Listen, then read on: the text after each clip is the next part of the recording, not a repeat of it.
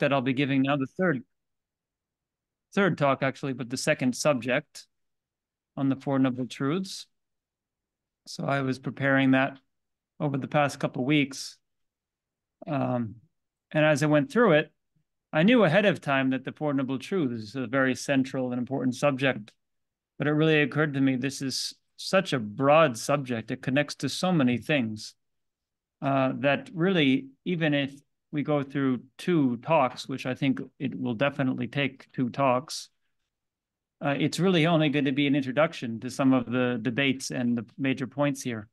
Um, this is, I think, the most important subject in all of, of uh, the Parchin studies. Now, maybe I said the same thing about the bodhicitta, uh, and I guess the reason I would say that about bodhicitta is that it's the heart of the Mahayana path.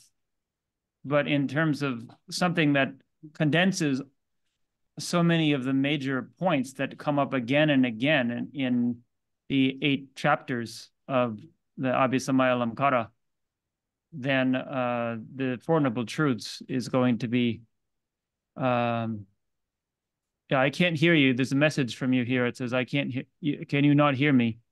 Yeah, I can't hear you. Um,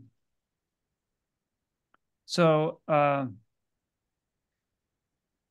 yeah, let, type a message if you need something. Okay, if technical problems, we need five minutes. Okay. So should I should I pause for five minutes? Yes. Okay.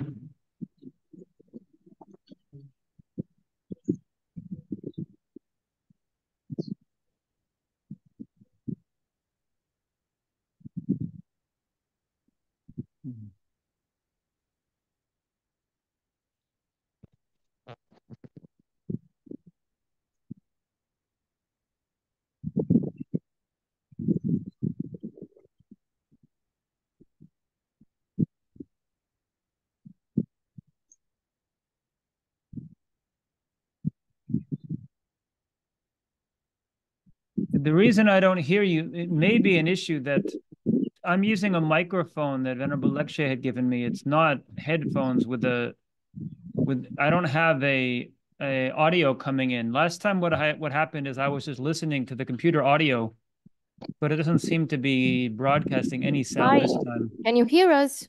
Now I can hear you, yes. I someone just said, Can you hear us? And I heard that. So apparently the microphone was mute. Okay, okay. Good.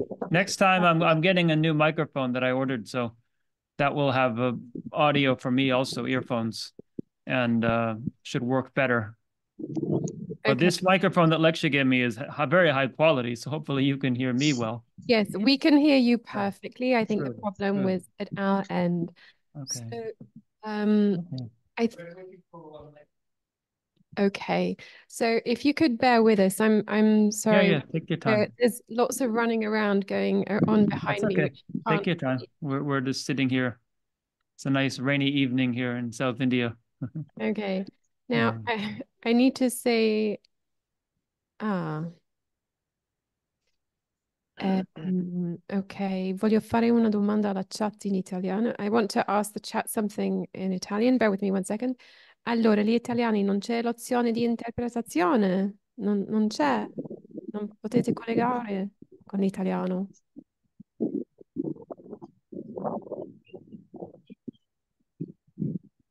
Come si sente bene l'italiano? Si vede.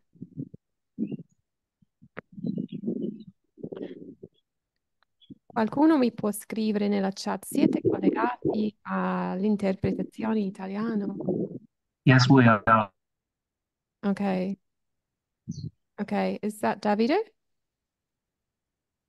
Oh, new messages. Okay, it's working. Okay. Allora, chiedo pazienza a tutti un attimo, grazie.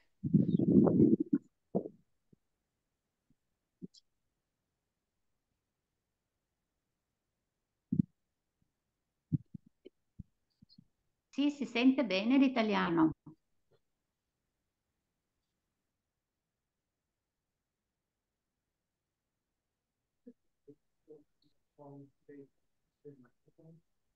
Ehm, sì, allora ehm, vorrei chiedere ehm, una cortesia. Le persone a casa, se non eh, state parlando, potete per favore spegnere il microfono, eh, metterlo muto. Grazie.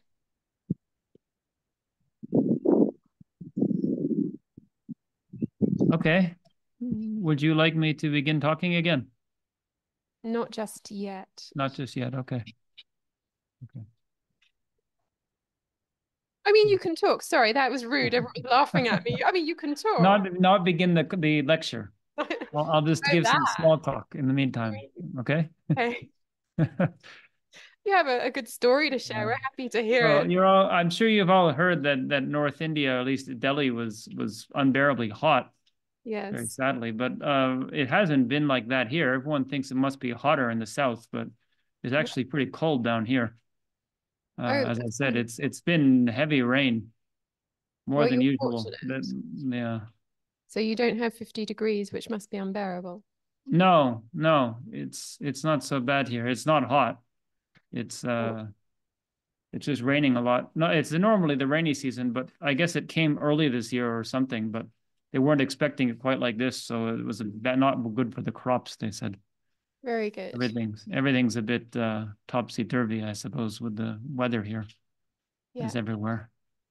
Well, it sounds like you're quite fortunate.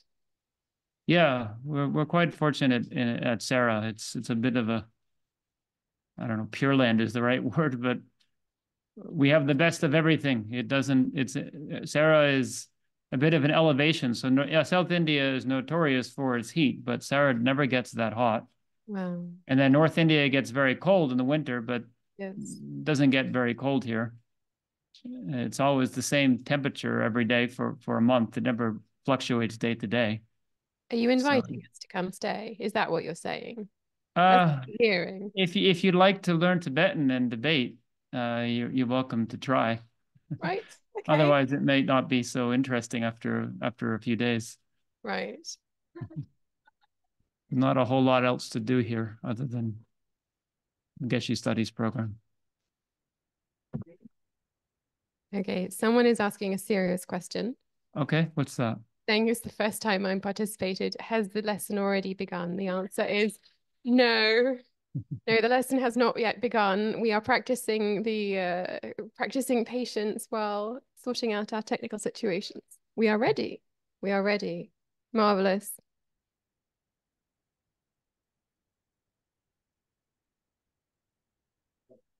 Okay. All right. So it seems that we are ready. Venerable, thank you, Venerable, and thank you everybody for your patience. And um, yeah, we rejoice in your good good conditions at Sera. So we will begin the lesson. Venerable, when you have the slides, um, I was asked if you could make it full screen. When you share the screen, can you make it Yeah, yeah, yeah. I did that already. I realized last time, both Okay, talks actually. super. I realized at the end of the talk, I realized oh, I hadn't made it the full screen. So I've That's already okay. queued it up that way this time, so it's ready. That's okay. You see the the, the technical Yeah. situation we have here. So we're all learning and we're all just Right. the yeah. So anyway, um, I want to thank you, Venerable Gache, very much for being with us to explain this really important topic. And I don't want to take much time, but just to say thank you so much. Venerable Gache has studied a great deal in Sera, and we're very fortunate to have his wealth of knowledge in explaining maybe what seems a simple topic to us, a topic we think we know, but uh, let's hear what he has to say. So thank you very, very much, Venerable, and over to you. Okay, thank you. So I'll I'll just briefly repeat what I said 10 minutes ago in case some people weren't here. So uh, yeah, as we all know, the Four Noble Truths is is the heart of the Buddhist teachings. Um, but we often think of this as the first turning of the wheel is about the Four Noble Truths, and the second turning of the wheel uh, is about uh, the Mahayana path. So it might not seem that this is the central theme of the second turning of the wheel. However, really, if we study the Abhisamayalankara and the related commentaries for, as we studied them for seven years here at Sera, uh, or however long you take to study the eight chapters, you'll see that the topics that come up here, the sub, the the themes that come up in the context of the Four Noble Truths, are the most central. Uh, uh, all of the main things, like what does it mean to be contam contaminated, and then what does it mean to be a um, uh, under the power of karma and afflictions? What does it mean to be a ripened result?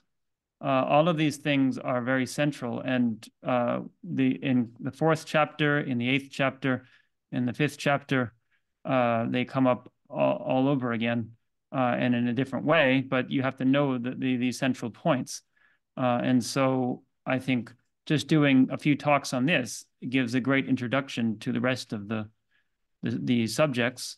And I, I was saying before that I think although I may have said that bodhicitta is the is the heart, is the most important subject in Prajnaparamita. I would say, in terms of being the heart of the Mahayana, probably so, but in terms of being the groundwork for understanding all of the concepts that come up again and again, then this is the most important topic.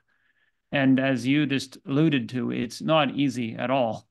Uh, maybe we may make it more difficult to inspire debate, but it also gets to uh, seeing how some of the things that seem so obvious at the beginning uh, are actually not obvious at all. If they were, then probably more people would be having realizations uh, and we wouldn't need to spend so much time uh, putting effort into, into understanding all of this. Um, so uh, that being said, without just trying to hype up the topic, I'll just get into it and then you can see for yourself kind of what I'm talking about. So let's start with the uh, sharing screen here. Okay. So, see as you see, the Four Noble Truths, the heart of the perfection of wisdom. And here we have the stupa at Sarnath, uh, where the Buddha delivered the first sermon on the Four Noble Truths. So let's start with etymology, as we started last time also. This is often how we begin a topic. So why is it called truth and why is it called noble? Um, so from the point of view of the object, the truths abide in fact just as they are taught, right? So this is the objective side in the sense that these, these accord with the way reality functions. And then from the point of view of the subject, meditating on them purifies obscurations. So the understanding here is that by generating a correct understanding of things, then that purifies the wrong views and the imprints of that in the mind uh, through continued meditation. And then in terms of Arya truth or noble truth, uh, they are true for an Arya. That is why it's called noble truth, that Arya beings see them directly as they are. Uh, and then as also said, ordinary beings do not see them. They are still true in reality. So for ordinary, it's not that they don't function for ordinary people. It's just that they don't see it that way. So it's not a matter of it being, we sometimes say it's true for me, it's not true for you in the sense of it's a matter of personal opinion. That's not the idea here. It's just a matter of uh, ordinary beings are still affected by this, but aren't able to see it. Um, so there's this quotation from the sutra. Uh, the Buddha says, what Aryas see as happiness, the others, meaning ordinary beings, know as suffering. What others see as happiness, the Aryas know as suffering. So it's inverted. Ordinary beings are attached to ordinary pleasures and uh, averted to ordinary suffering, trying to, as we often say, follow the eight worldly dharmas. Whereas Arya beings see that, that endless pursuit as uh, endless suffering and uh, see this uh, realization of emptiness as the true happiness, whereas ordinary beings see that as a fearful experience. Oftentimes, emptiness is seen as something to avoid. It's it's something that maybe, for example, when I searched for pictures of emptiness on the internet for the slide on emptiness, you see pictures of depressed people, right? The sense of emptiness that I, my life is just empty. Uh, but sometimes maybe it, that's actually a good, maybe that's alluding to something that we, when we feel empty, we should go into, we should try to explore that rather than trying to avoid it. But anyway, uh, this is just a small thing on the etymology. So next we have the, the difficult points. So these are the main things that I'm going to be focusing on. Um, so I start with a bunch of background information, as I just mentioned, uh, that there are these very important uh, terminology and also just understanding exactly what this term is referring to. uh, in terms of these five things, because these are terms that come up again and again. But if we don't really have a clear idea of what they are, uh, then it, it's hard to understand how they work together. So we spend a lot of time debating these, and it's not these aren't things that often have a clear answer. Oftentimes, you have to come up with your your own very personal, and we say shipja in Tibetan, like your uh, very subtle distinction about this this is this and it's not that. So we have background information, uh, five of them: contamination, and then afflicted and pure truths, and then ripened effects, samsara, and nature of suffering. And then we have the next two are the are the very central debates. These will take up most of the time. So the first one is order. So why are the four truths presented in the order in which they are presented?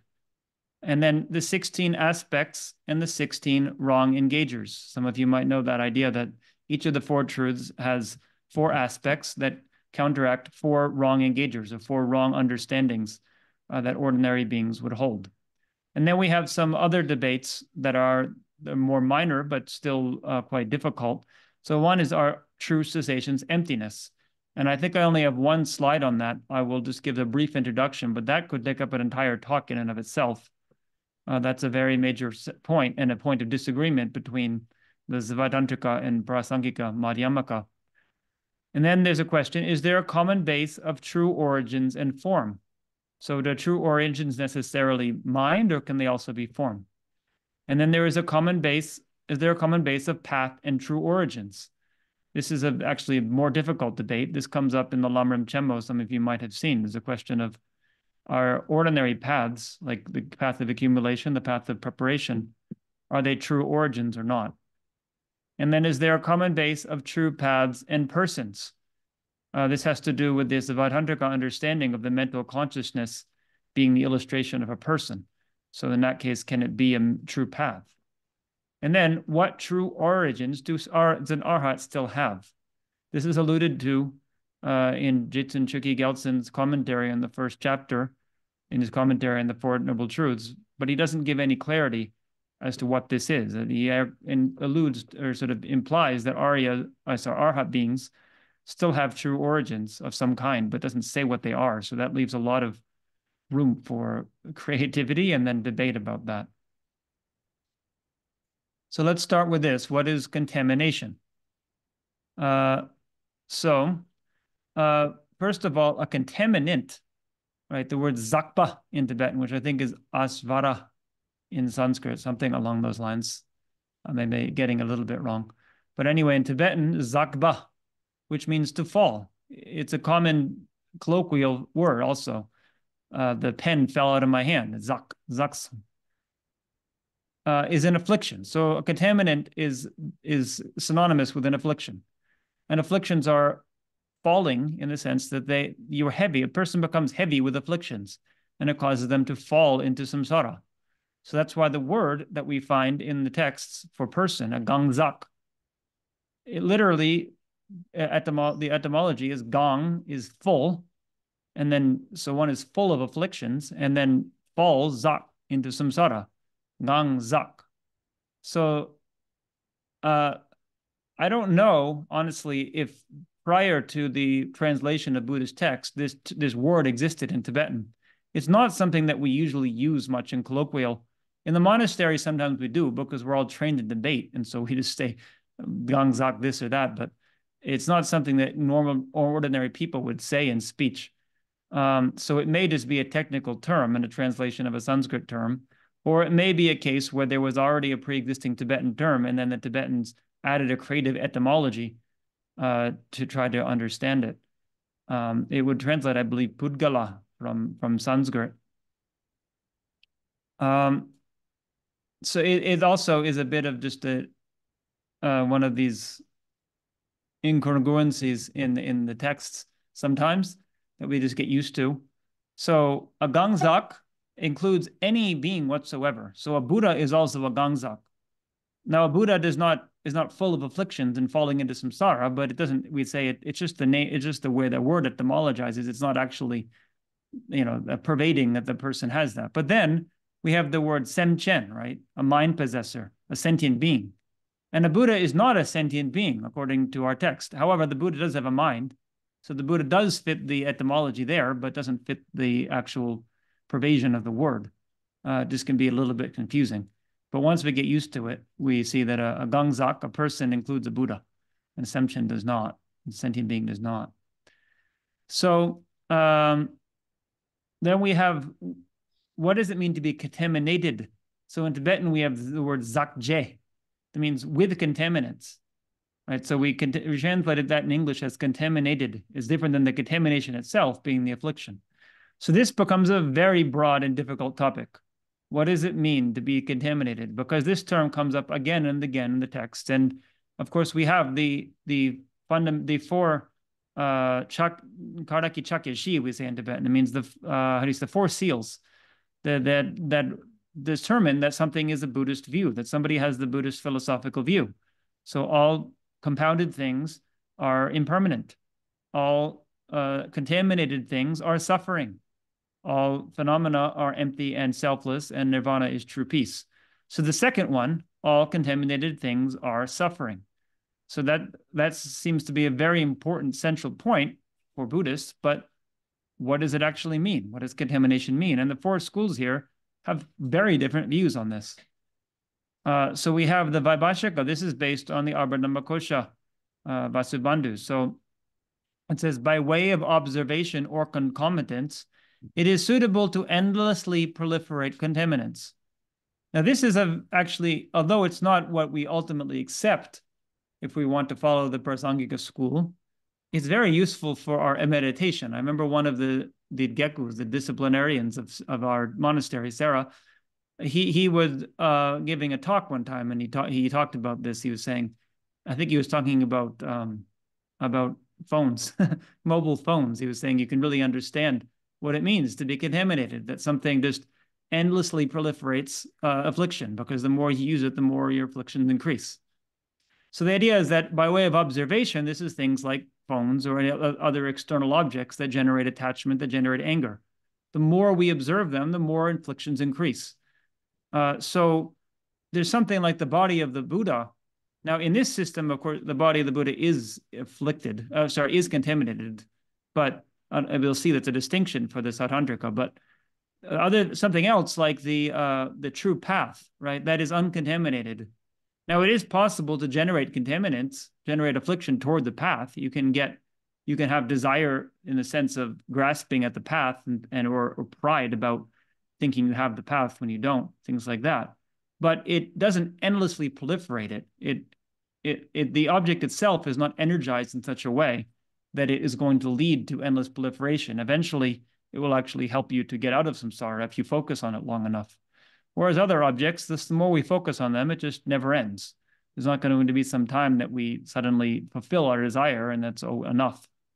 Or concomitant. So the concomitance means because the um, the affliction is a mental factor, right? All afflictions are mental factors. So the main mind that is concomitant with that or the other mental factors other than the affliction that are concomitant with that, those are also contaminated.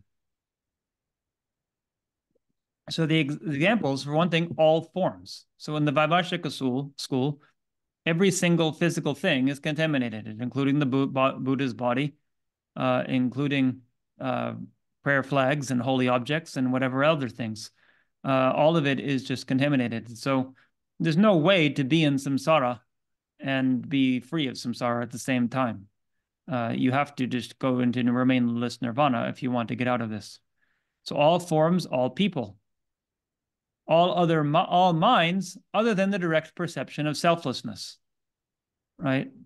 So the only thing that is really uncontaminated, as it says, right, it's the very first or second verse of, of the first chapter of Abhidharmakosha. It says, uh, Duce ni Zakche. So all compounded things, all, all uh, functioning things other than the truth of the path are contaminated.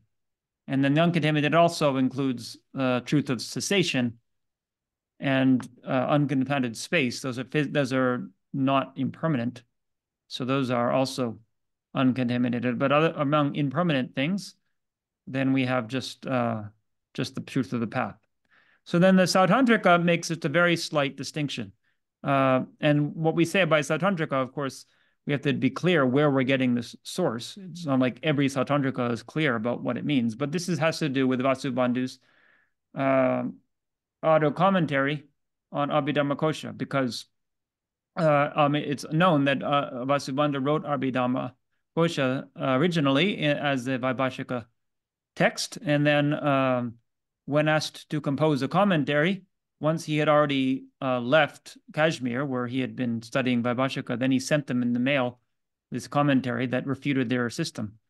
Uh, so he refuted his own text, but he didn't really believe it to begin with. He just was writing it uh, maybe to get a good grade or something. I don't I don't know, but uh, mainly he, they thought he, his was the best text ever written in their school, even though he didn't actually believe what he was saying. So he he came and he came back and uh, negated a lot of the points that were written in that text. And one of them, in this context of uh, the what is contaminated, he didn't negate the fundamental idea of what it means to be contaminated, but he did argue that a Buddha's body is uncontaminated. That made it was a distinction that he made, um, and that the Buddha himself was uncontaminated. And the reasoning, so there was a debate among the Vaibhashikas themselves that if the Buddha's body is contaminated, then why is it an uninterrupted negative karma to wound the body of a Buddha? Because it's not really the Buddha anyway. The Buddha is just the mind of the Buddha. So then the uh, the counter argument that the Vaibhashikas gave anyway is that, well, it's like if you if you damage somebody's eye, the eye is not the eye consciousness, but the eye consciousness can't function without the eye. So you're obstructing the Buddha's activity by harming the body. Uh, but but Vasubandhu had a counter argument, basically that there are problems with this because we say the reason this Vaibhashika said that the reason somebody is a Buddha is because of the truth of the path. That's what that's what makes them a Buddha. But he said then it's not doing anything. It's not making anybody a Buddha because the person isn't really a Buddha. Only the truth of the path is. So you're you're you're negating yourself, your own your own your own um, uh, your own understanding of the of this truth of the path as making them a Buddha doesn't it it it it negates itself because then the Buddha isn't actually a Buddha. And secondly, more subtly, uh, Vasubandhu pointed out that uh, the Buddha and other Arya beings, because the Arya beings also are considered considered Sangha based on their perception of reality, their perception of selflessness. Uh, if you're saying, because they, they, they would argue that the only the truth of the path is really the Sangha, then because in this system, uh, the true the, these minds are not always manifest, then at the time, for example, when the Buddha is not manifestly meditating on selflessness, then there's no Buddha because there's no direct perception of selflessness. So then there's not even suitable to call the person a Buddha anymore. So you have this uh, say this absurd consequence. So he says basically we have to say that the the Buddha, Buddha's body, which is stable, is a Buddha, just like it is renowned in the world. People point and say that's the Buddha.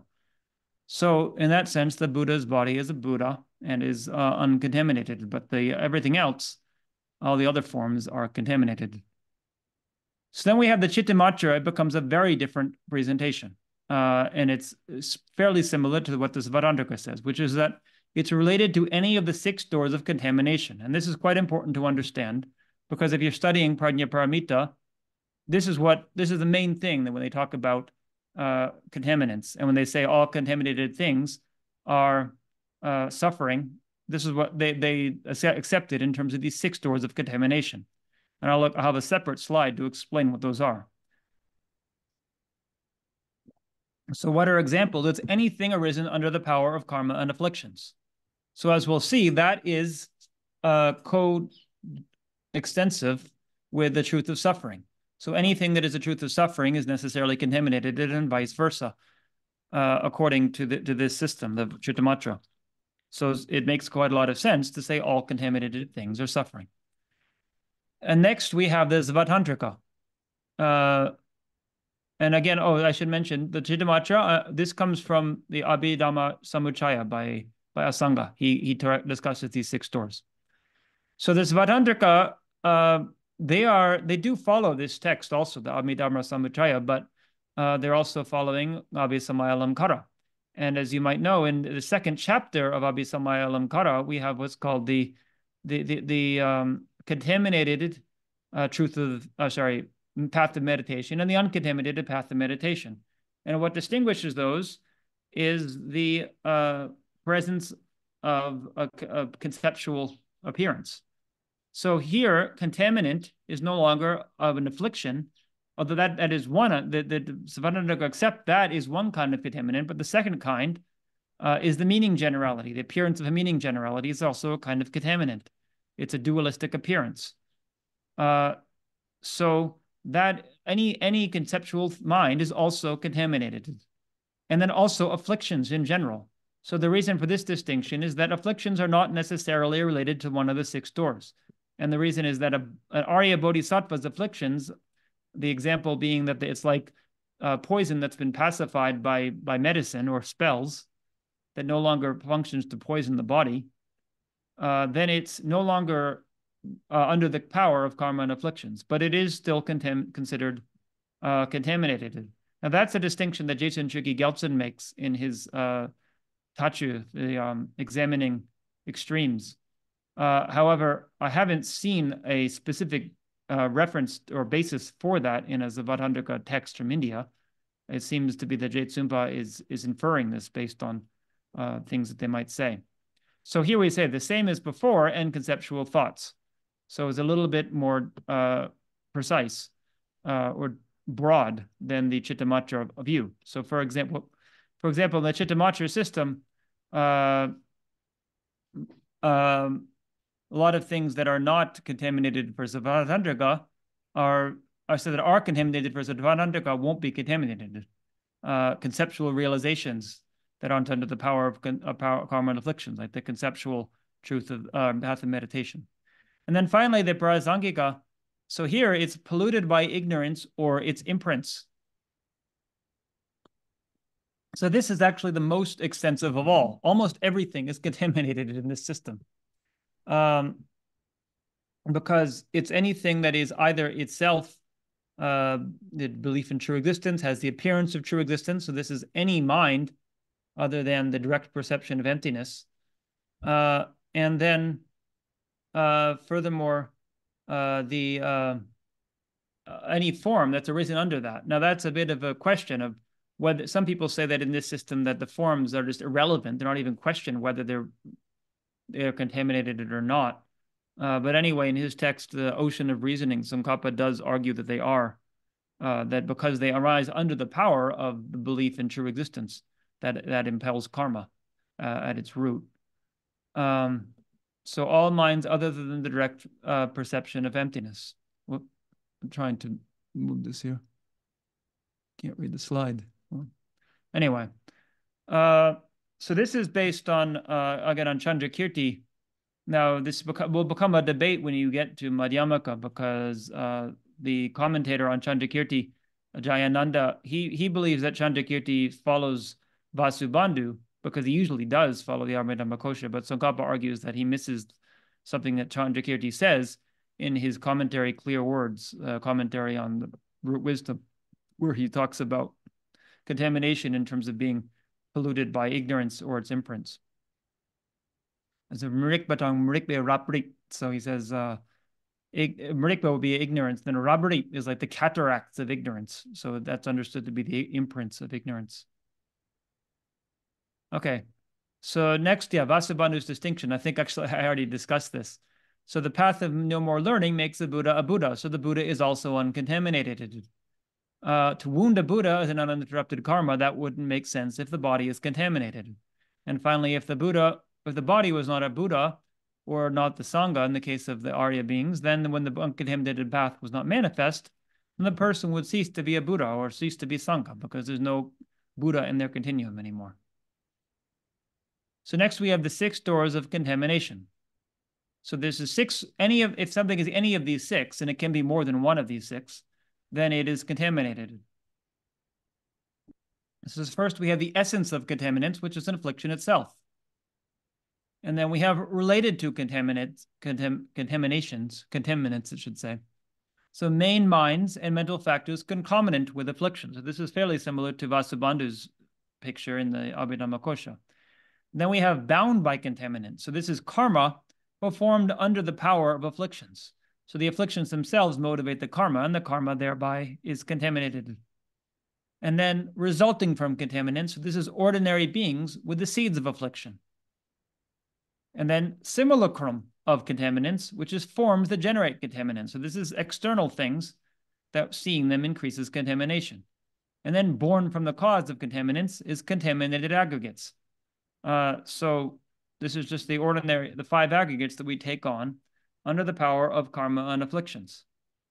Uh, so in a lot of ways, it actually is coextensive with with the Vaibhashika, except as we say in the in the Mahayana, there's the understanding that bodhisattvas and Buddhas can manifest these pure forms that are no longer contaminated, and they are more minds other than just uh, the uh, direct perception of emptiness. So, uh, one uh, example that Jetsun Chökyi Gyaltsen gives as something that's distinct uh, for both Svatantrika and Chittamatra, that is uncontaminated, that would be contaminated for the Vaibhashika system, uh, is on the path of preparation when somebody has a um, clairvoyance that knows another's mind, because that's a direct perception. And so it's not contaminated by any of these means. Um, but at the same time, uh, uh, it for the Vaibhashika, it would certainly be contaminated. It's a it's not a truth of the path. Okay, so next we have just a few minor points about contamination. So we have ordinary beings are always contaminated. So uh, Arya beings not necessarily, but ordinary beings are always. So why? Because they have the seeds of affliction and will continuously cycle in samsara. So that's one reason. And I, I'm actually I should say that these are various explanations that people come up with. So again, in his examining the extremes, uh, uh, Jetsun Chökyi Gyaltsen, he uh, um, he says that a being born, an ordinary being born in Sukhavati, right, the pure land of Amitabha, which is the only pure land where non-Arya beings are supposed to be born, uh, is still contaminated. Why? Because it's an ordinary being. But he doesn't say why. Uh, so different people come up with different explanations. So some say it's because they have the seeds of affliction and will continuously cycle. That we'll also talk about later in the very last slide. We probably won't be until next time about whether that's possible to have the seeds of affliction while in Sukhavati or other pure lands. So then they, another explanation is because they they still generate such generate afflictions by observing themselves. So they are observed objects that increase afflictions, right? They observe themselves and have attachment. Me, I. Uh, they very strongly, more so than an Arya being. So they become the object for their increase of their own afflictions. And then finally, this is my classmate suggested this, but I thought it was quite insightful, is that they are mainly engaging by conceptual thought. Because in the Svatantrika system, ordinary beings, uh, sorry, con conceptual thought is a kind of contamination. And it's understood that ordinary beings mainly engage in the world by conceptual thought, whereas Arya beings, because of the direct perception of emptiness, they mainly they, their main understanding comes from direct perception. So the or in this sense, the being is contaminated. These are all just uh, conjectures and then things we can debate about. So then uh, fully then another question is fully characterized contaminated. This is a term we see in, for example, the golden garland. Tsongkhapa says that all fully characterized contamination, contaminated things are the truth of suffering. So then is he saying all contaminated things are under the truth of, of the truth of suffering? We'd say maybe not. It just means fully characterized contaminated means under the power of karma and afflictions as opposed to the conceptual thought, which is a little different. This next point also is a major point of confusion, so it's good to clarify this. The meaning of contaminated in the context of the observed object of achievers is different. So when you study chapter one, you have the 10, 10 of the 70 topics, and the and the what is it, the seventh, no, the, the fifth one actually. Uh, fifth one is the uh, observed object of achievers, and then there's a list of different things that being the 11 topics that uh, bodhisattvas uh, observe, and one of them is contaminated. And the definition that Jetsun Gyaltsen gives, which is based on the on, on Golden Garland by Tsongkhapa, which is then based on the Indian commentaries, uh, is um, under the power. Uh, for one thing, it's under the power of karma and afflictions, and it does not abide uh, in the class of being the antidote to the view of the self. Uh, so that seems to be it's not generally understood that he's saying, uh, for example, the conceptual realization of selflessness in this case is not contaminated because it's it is the the antidote to the view of the self. So some people, because that's clearly the the conceptual understand the realization of selflessness in this Vedanta system is contaminated. Some people argue, well, when he says abides in the class, that's that's you know that that's making this distinction. But really, the point here is that in this particular context, it's just what what is taught in that part of the sutra. So there, there, when they talk about contaminated, they mean something totally different than what the Vedantaka usually mean. So that's not really the definition of contaminated. It's only contaminated in that particular context. And Tsongkhapa discusses these different contexts eh, a little bit in uh, in Golden Garland in that in that section. And then finally, contaminated aggregates versus contaminated appropriating aggregates. That's just a little bit of a distinction. So contaminated aggregates, if contaminated appropriating, appropriating aggregates is fairly co-determined, well, not a, with the coextensive with the truth of suffering in the in the continuum of sentient being right? Whereas uh, contaminated aggregates, it's pretty much anything that's an aggregate and is contaminated. So is for any of the reasons as above. Um, and aggregates can don't don't have to be in the continuum of sentient beings. And also, for example, a bodhisattva's aggregates, which are not truth of suffering, or Arya bodhisattva's aggregates, they are still contaminated aggregates. There is not contaminated appropriating aggregates. This word nyerlin in Tibetan, right? It, it's a bit ambiguous it's understood to be both appropriating and appropriated. So it's that which causes us to further cycle in samsara and also that which we take on uh, from the from our past actions in samsara. Okay, so that's, I think, the end of this discussion of contaminated. Contaminated. It's a bit hard to say. I get tongue-tied sometimes. It's a lot easier in Tibetan, so next we have afflicted truths and pure truths. So you'll see when you study the Four Noble Truths, the definition of each of the truths, right? So in the definition of the, of the truth of suffering is a that which is an afflicted truth. Now, I, I don't know actually how you translate this in English. I, I looked in the FPMT dictionary and it wasn't in there. So in Tibetan, it's kunen yomon choki dempa, right? So I think I, I truth of the fully afflicted class, right? So the truth of the truth of suffering is a truth of the fully afflicted class, which is characterized by impermanence, suffering, emptiness, and selflessness, right? And then the truth of uh, origin is similar. It's a fully afflicted class. And then the truths of cessation and the path is your pure truth, the truth of the pure class, right? But what does that mean? Uh, and especially because there are a number of terms that can easily get mixed up. So we'll see this if we read through uh, the Prajnaparamita literature carefully. We'll see three terms associated with the first side and then four with the second. So the first, I will go with the pure first because it's easier to go through one the one that has all four. So you have pure, which is namjang in Tibetan, which means which literally means purified, that which has been purified. And then pure class, so namjang chok in Tibetan, and then pure truths, Namjang Dempa, and then truth of the pure class, Namjang Choki Dempa. So those all mean slightly different things. So pure, first of all, means virtuous mental factors. You'll see this if you study the section on the path of preparation. And in Jetsun Chökyi Gyaltsen's explanation, he says that the uh, mental factor of faith, or say the, the, the power of faith, right? Not just the general mental factor, the power of faith which is a uh, kind of something that someone develops as they are approaching entering the path. Uh, that is a virtuous mental factor. He says that's a namjang, right? It's a, it's it's pure, it's a virtuous, right? And then the pure class, namjang chok, is then the concomitant with that. So the the main mind, and so forth.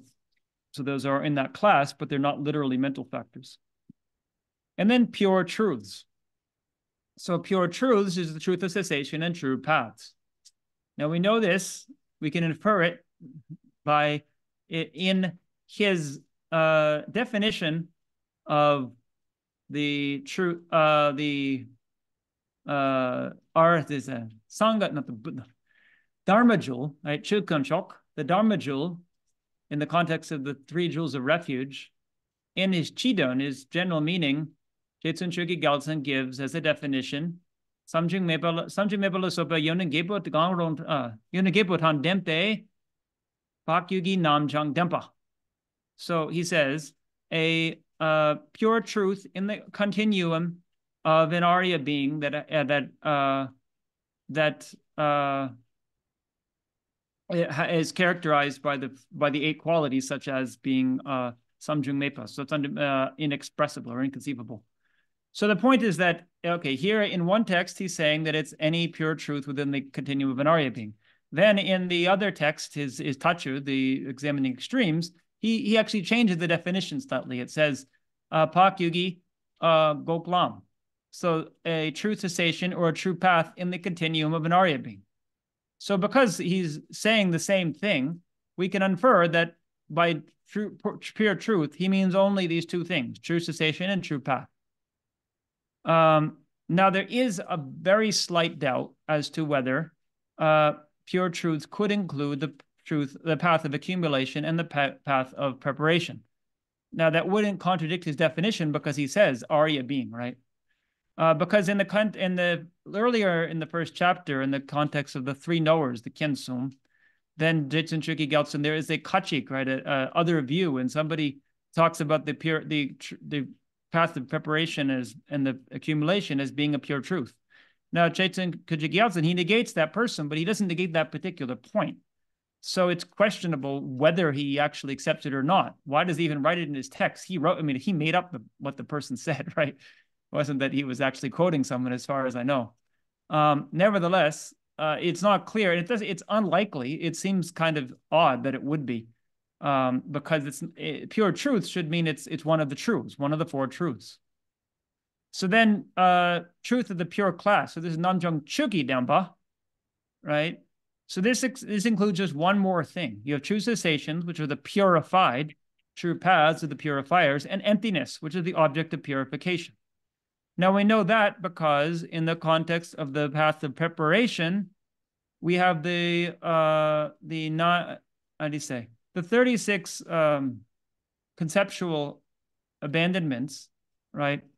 Uh, again, uh, in, in English, I'm, I'm a little uh, stumble on the words a bit, but we have uh, right. So you have in the uh, um, the six the six main things that distinguish the uh, Mahayana path of preparation from the Hinayana path and one of them is that they take these uh, these conceptual uh, thoughts or con, conceptual dopa, right? We say in Tibetan, as uh, objects of of abandonment. And uh, then there's this list of what those are, right? So in Drava Döntso, the Haribhadra's commentary, he lists 36, and there are nine of each of the classes. So uh, in the terms of the truth of the pure class, those things that are related to both uh, substantial and uh, imputed. So don't worry too much if this is all a little bit confusing. But the main point is he gives nine examples of things that are truth of the pure class. And one of the examples he very clearly gives is emptiness. So it's clear that he's saying emptiness is a truth of the pure class. That if you observe emptiness and believe it to be truly existent, that is the kind, that is one of the conceptions that's talked about here that observes the truth of the pure class. And then Tsongkhapa says in his commentary in the Golden Garland its emptiness is the truth of the pure class because it's the object by which you meditate on to become purified. However, then there's the question why is selflessness of person not so?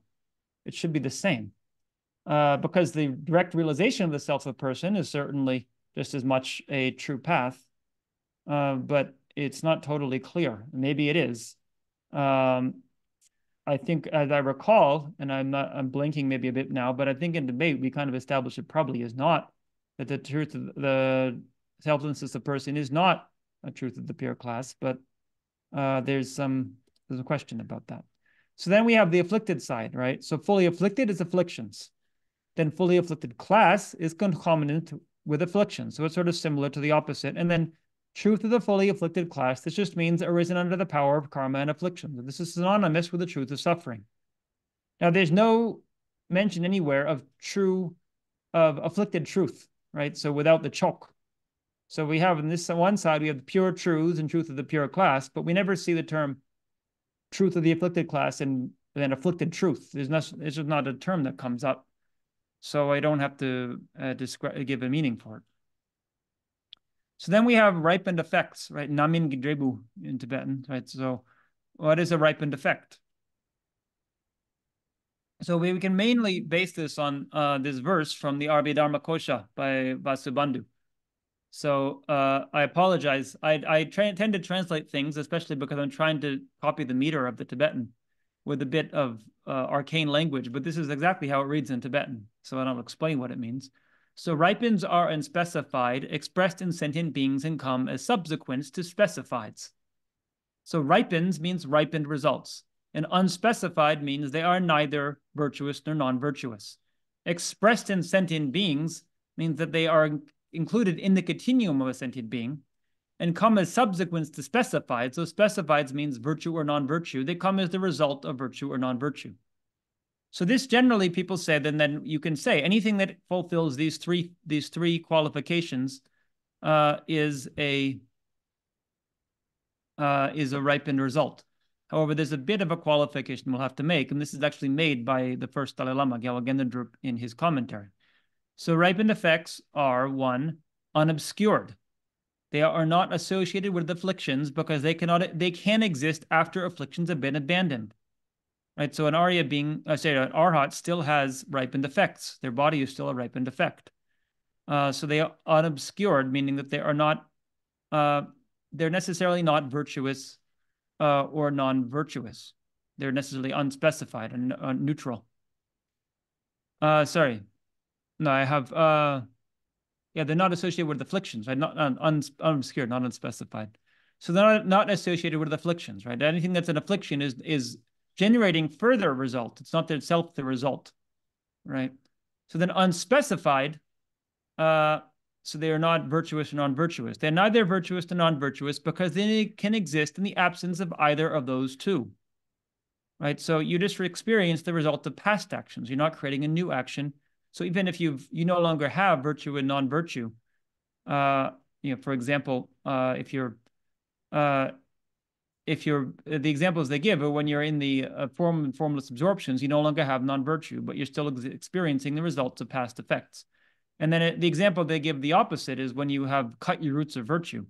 This is another very big question of what that really means, and I won't talk about it here. But basically, when nobody is no longer creating virtue, uh, they still have non-virtue, but they still have the ripened results. So it doesn't require virtue, it does not require non-virtue. And then three, they are included in the continuum of sentient beings. They are experienced in an uncommon way, meaning they are a private experience, right? So the truth of suffering includes the external world, but the uh, ripened results do not. It only is included in the sentient beings. Otherwise, karmic effects would be mixed, right? So my ripened result would be ex experienced by somebody else.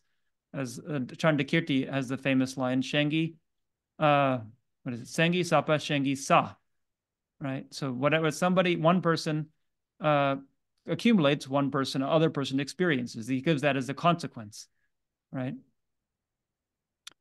And then four, they are subsequent to either virtue or non-virtue, but not immediately, only after, after, after a gap of time. So that's the distinction, right? So they are they arise sub they has to be the result of virtue or non-virtue. But if we didn't give this qualification, then the problem is that the imprint, the immediate imprint of the of the action would be a ripened effect because it would fulfill the first three qualifications. It would be unobscured, it would be unspecified, and would be included in the continuum of a sentient being. But it's not a ripened effect. It shouldn't be understood as that. The ripened effect is something is like the result of the action that comes when that that imprint ripens, right? That's the whole point of ripen. So it's unripened at that point. So it says oh, not immediately, only after a gap of time. So it's once that thing, uh, that, that imprint ripens. Now we could say, well, you have the, the second moment of the imprint. Maybe that fits here. So then you have to make a more of a distinction, but I'll leave that to you if you want to debate about that. So then there are also uncontaminated ripened effects. This we talk about, although honestly, I haven't seen a very clear presentation of it. Maybe when we study Abhidharma next year, we'll we'll get to it. Uh, but in, in Prajnaparamita, it just mentioned, for example, the Sambhogakaya uh, body of the Buddha, uh, that is a ripened, a pure ripened effect. And then the, uh, the, un what do you say? Parchimelam is uh, unobs- unobstructed path, right? The direct perception of emptiness. That uh, is that is uh, uncontaminated ripened cause. Um, so how exactly that works, uh, I, I will just leave that for now. But just so that you uh, you know that there, if you might see these terms and wonder what they're talking about. So they do not necessarily fit these parameters above here. So really, a ripened effect, those are ripened effects. So when we talk about ripened effects, we're talking about contaminated ripened effects, right? So now we have background information for samsara. What is meant by samsara? How do we define, in terms of if we're going to debate it, what do we define what is and is not samsara? So here's a proposed definition of samsara that, that Jetsun Chökyi Gyaltsen rejects. Continuous cycling over a long period of time under the power of karma and afflictions, which would be kind of a basic definition you might think to say. What does it mean? What does samsara mean? But the counterexample he gives is the fault there, and then an ordinary being would be samsara, right? I would be samsara because I am continuously cycling over a long period of time under the power of karma and afflictions. Uh, now, uh, you, uh, you, might see in English, I said continuously as opposed to continuous, but in Tibetan, it's the same, right? Tibetan is a little more fluid. So it sounds like you're saying the same thing. But the problem here is that the cycler cannot be the cycle, right? This, the samsara means circling, right? So the person who's circling can't be the one, can't be the circling itself. The doer cannot be the action. And this is based, uh, for example, we have this quotation from Root Wisdom by Nagarjuna in chapter 10. If fuel is fire, it ensues. The doer is the action too. Right? So the the the, the one that in Tibetan we say chipo tang le, right? The the actor. So when you have any compound sentence, um, I am lighting a fire, right? I'm the one doing something, and the fire is the action to which I on which I am acting. Uh, it, they, they can't be the same thing. Otherwise, the there's they can't be a transitive sentence. Uh, now, of course, I could say, well, I am motivating myself. That's a, maybe a little bit different. Um, but uh, in terms of what I'm acting upon, at least in terms of how the sentence functions, it is treating it as two different objects, even though they ultimately come down to the same thing. Uh, but anyway, the understanding here is that there has to be a person cycling, and then there's the cycle in which they're cycling. Another way to understand it is that it wouldn't be possible to get out of samsara if you are samsara. You can't abandon yourself right? You have to abandon samsara. Uh, of course, what are you really abandoning? That that is a more difficult question because everything that you know as yourself is samsara. Your aggregates are all samsara. So who's getting out if there's nothing else other than the aggregates, right? There's no there's no self apart from the aggregates. So a more precise definition. This is not something that we see in any text. Um, but it's what everyone says, or a lot of people say in debate. Now, I asked one of my classmates, where is it? He said, oh, it's in the Lamrim, but that's not true. it's not the kind of thing Tsongkhapa would say in the Lamrim. It sounds like something we say a Durapugo, a little kid in debate would say. So any true suffering in the continuum of a cycler other than the cycler himself. But that's very specific and it's it's we say pervasive.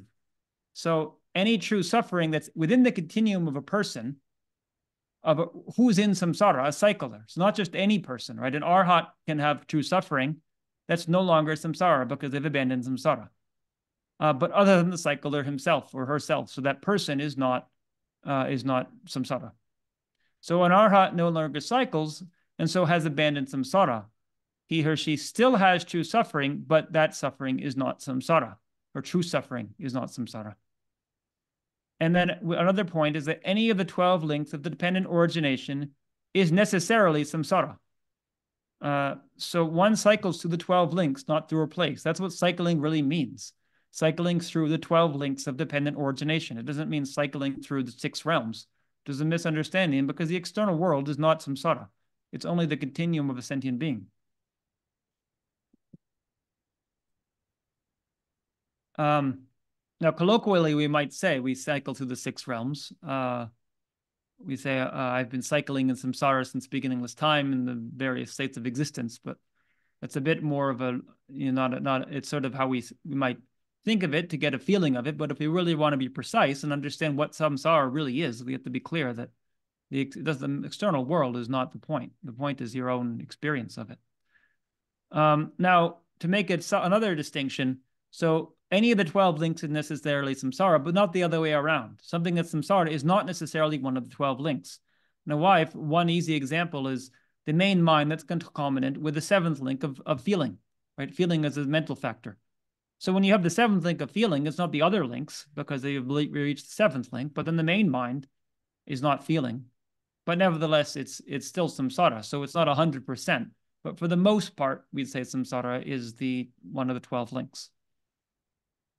Okay, so then number five, nature of suffering. So I made that distinction just a moment ago. Now I will explain what that means.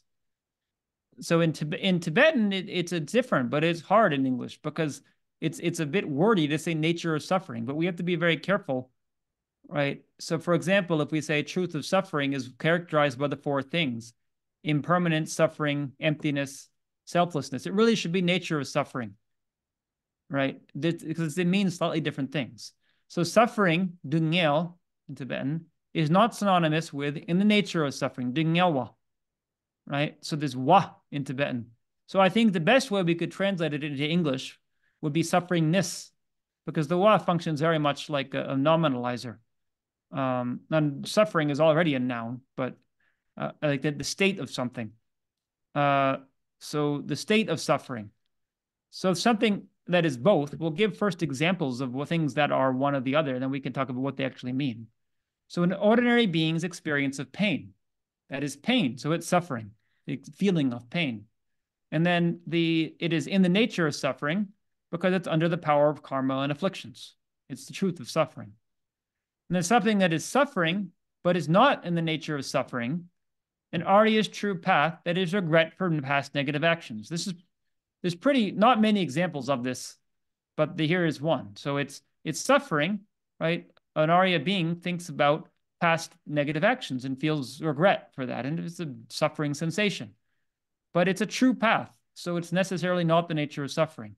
True path has to be contrary to the truth truth of suffering. And then something that is the nature in the nature of suffering, but is not suffering in an ordinary experience, being experience of pleasure. Right? So ordinary beings uh, experience pleasure, and that is suffering of change. So it's in the nature of suffering. It's the truth of suffering. Maybe we can make one distinction is that if you have an ordinary being in Sukhavati, again, like before, that is one of our uh, game breakers. You know, we have these different, how do you say, chichen in Tibetan. So subjects you, you can bring in it makes it nothing pervades. But for the most part, right, ordinary people who are not in Pure Lands in the Pure Land, then maybe it's not the the feeling is not in the nature of suffering. Uh, and then something that is neither is a direct perception of selflessness, right? This is a truth of the path. It's it's not a suffering sensation either. So then we have a couple other questions. Uh, so let me just mention. So to make it clear, right? Suffering, dungel, that is a feeling. It is a uh, it is a mental factor. So it can be either physical or mental, but it's not a main mind and it's not a it's not it's not any other uh it could aggregate. So, you know, it's not the the body.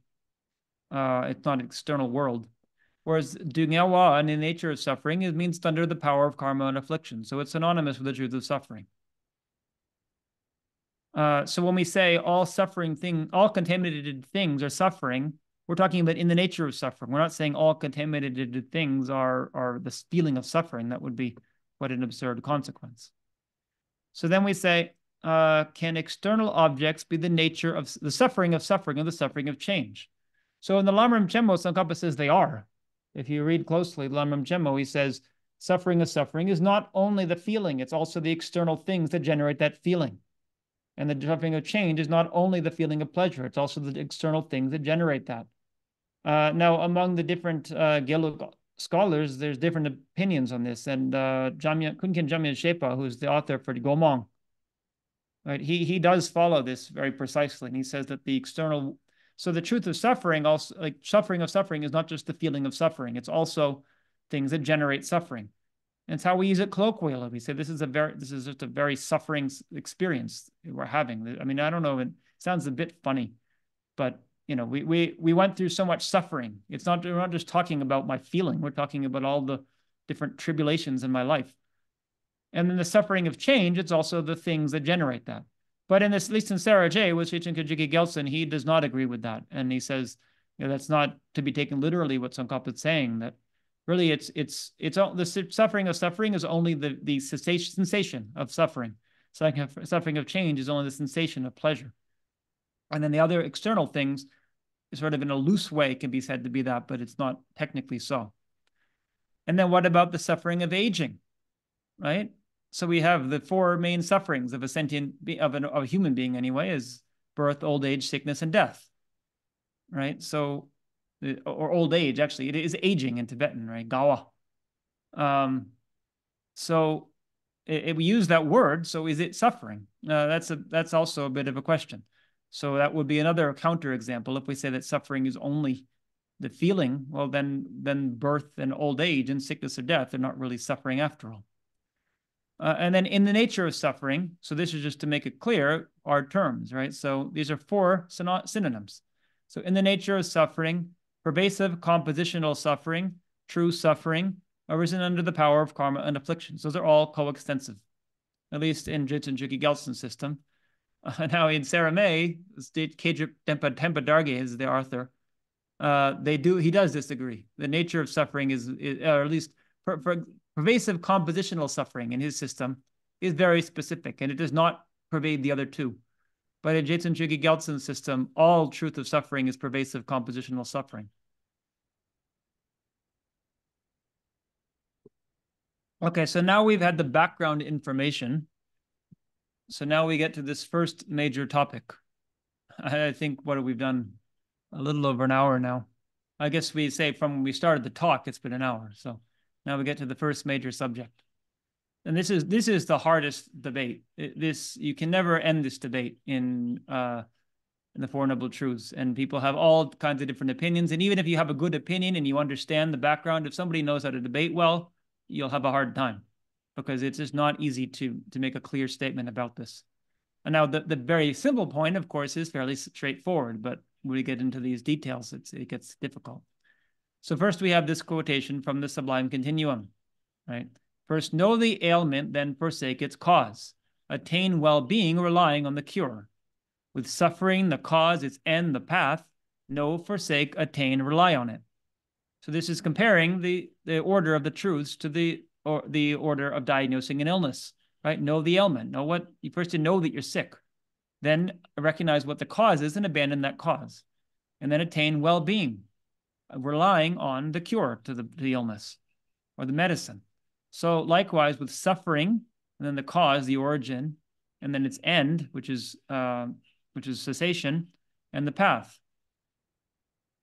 Uh, know suffering, forsake the cause, attain uh, cessation, and rely on the path. Right? This is how the Buddha exhorted the monks in the very first uh, uh, sutra, right? In the Dharma turning wheel, wheel, wheel of Dharma turning sutra, right? Dharma chakra. Uh, so he said, uh, no, no suffering, abandon the cause, attain cessation, rely on the path. So it's understood to be in terms of the order in which one uh, recognizes the illness and then comes to want to be free of it. So in terms of cause and effect, the order should be origin, suffering, because the origin is the cause of the suffering. We say this is the, in terms of the terms we used before, we used before the truth of the fully afflicted class, or then the origin side, the cause side of that is the origin, the result side of that is suffering. And then in terms of the truth of the, the pure class, then the cause side is the path and the result is suffering. Now, it's not a real result because it's not a functioning thing. It's a result uh, in terms of you might know the five kinds of results. We say the result, which is a which is a uh, separation, right? But it's in the sense that it, you attain it through meditating on the path, right? So then the but then the order of teaching is in terms of the order of realization as opposed to the order of arising. So many Indian texts, such as the Treasury of Abhidharma, Commentary on Valid Cognition, and others, they state that this order, they said they use the words in the terms of its order of realization. And many Tibetan commentaries are even more explicit. So there's a text, I don't think it's in English. It's Arranged Path of Valid Cognition. It's a very nice short text by Tsongkhapa talking about uh, Dharmakirti's system and how it can be used for personal practice. So he says, Tsongkhapa explicitly calls this the order in which they are realized by valid cognition. That's a very explicit statement. So it's not uh, it's not easy to to just say how he's just using that loosely, right? Uh, and actually, I say realized. I think it's seming ngepa, right? It was ascertained, which is actually in some sense more precise, ascertained by valid cognition. So okay, but then accepting these statements literally is problematic for a number of reasons. So we'll see what what those are. So first of all, realizing true suffering first, right? That should be first if you realize them in that order. Do you realize the definition of true suffering? What is the definition? It's that which is uh, a truth of the purely, truly, uh, the truth of the uh, fully afflicted class, right? Which is which is uh, characterized by being impermanent in the nature of suffering, empty, and uh, and selfless right? So that case, do you realize this second point in the nature of suffering? What does that mean? So in that case, do you realize under risen under the power of karma and afflictions? Because that's what the word means. In the nature of suffering, that's something that is going to be, uh, you know, it's just a, it's just a, say the the definiendum of the definition under the power of karma and afflictions. So in that case, do you realize the origin? Right? To realize suffering, you have to realize that something is under the power of karma and afflictions. It's not just to, enough to know I stubbed my toe. That's not recognizing the truth of suffering. You have to know actually what it means to be the truth of suffering. So you've already recognized that it comes from karma and afflictions. So that's the first thing that becomes a doubt. I remember that very many years ago now, was it 12 years ago when we first debated this, uh, coming to debate one morning and my classmate uh, just asked me that question. And I was taken aback. I thought, oh, I don't have an answer. So then you start having doubt and start thinking maybe it's not so straightforward after all. So then we have two ancillary points. Just and now we talk about this. This so we'll, we'll get back to what is the uh, how do we answer this debate or what are the other doubts that come up. But then we have this question. Okay, karma and affliction. If you realize truth of suffering, you realize that it's un- something is under the power of karma and affliction. Well, some people say well, look, karma and affliction, at least the workings of karma, is said to be very subtle phenomena, very hidden phenomena, right? Phenomenon.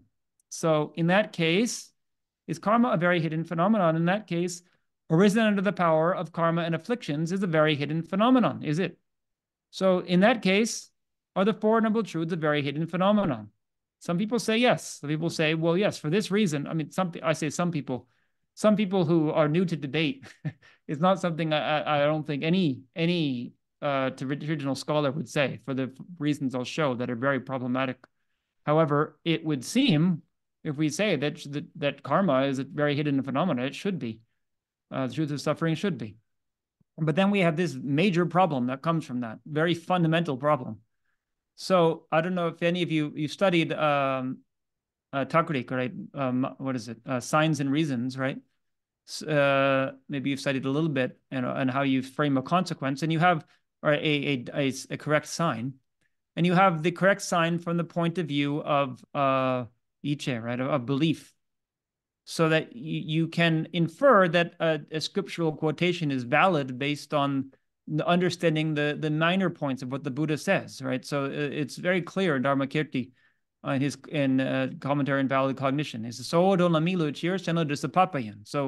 you're you're incontrovertible, or the Buddha was incontrovertible in regards to the main point. So we can infer that his teachings on the other minor points, which are hidden to us, we can infer that they're that they are valid, that we we can trust in them. So maybe trust is a better word, a valid valid sign based on trust in the in the in the person's judgment of what they're saying.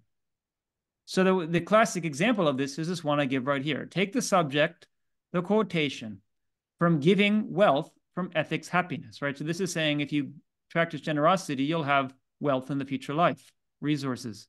And if you practice ethical discipline, you'll have happiness, which means a po positive rebirth in the future life. So then the it is says it is incontrovertible to its intended meaning because it is a quotation pure by the three analyses, right? So it is uh, not harmed by uh, direct perception or by inference or by examining uh, the internal text, right? The person speaking it doesn't contradict themselves. They don't say one thing one place and something else another place. Now that whole that particular con- thing that I just said, this this this uh say uh the inference from trust or from belief, this itself is a major point of debate. Uh, I think if we later have talks on on uh, valid cognition in a couple of years, we should make a separate talk for this. Uh, this is extremely difficult. but nevertheless, the main point here, just which is doesn't require understanding all of the details, is the example here, right? For example, the teaching on the Four Noble Truths, right? So the Buddha, uh, sorry, when, Dar when Dharmakirti says, so don't la don lamiluchir, the Buddha was incontrovertible as to the main point, he's talking about the Four Noble Truths.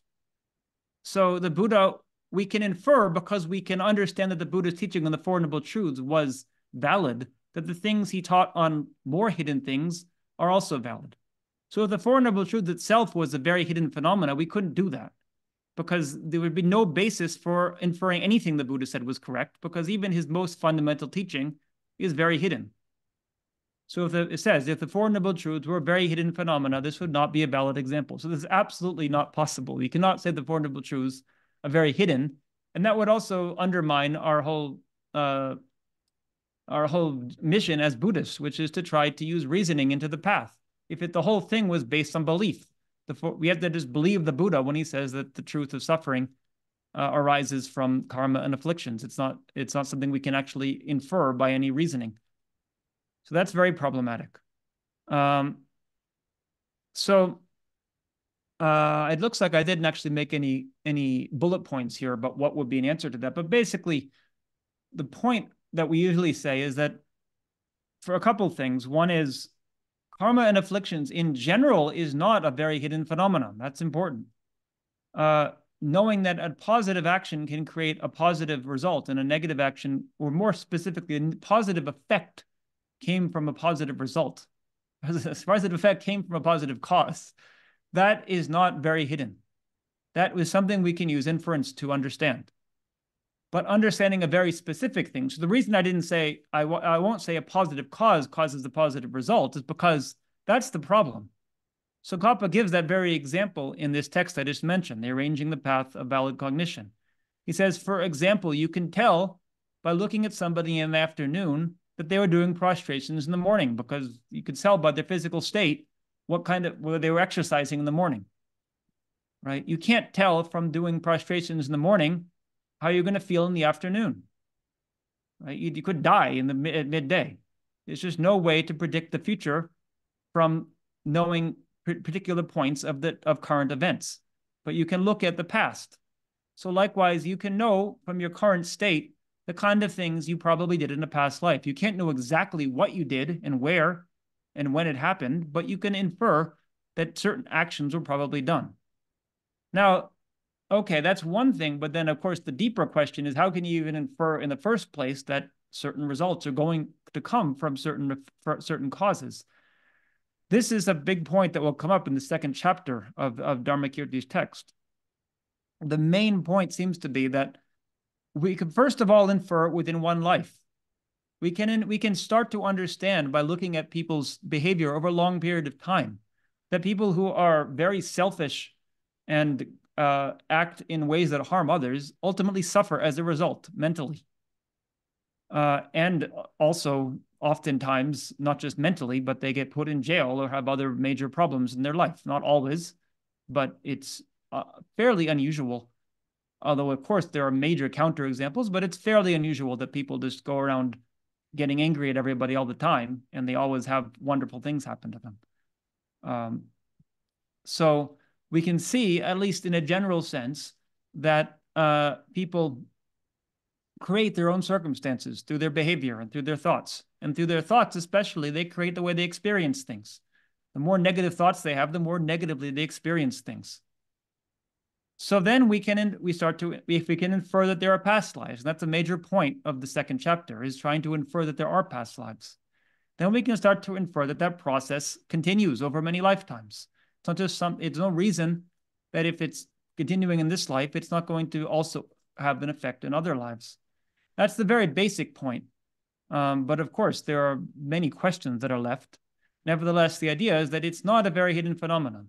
If what is very hidden is knowing specifics of it and knowing uh, what a particular action now will have in the future. In any case, right? We can't even if we do a good action, we can't say for sure it's going to have a good result.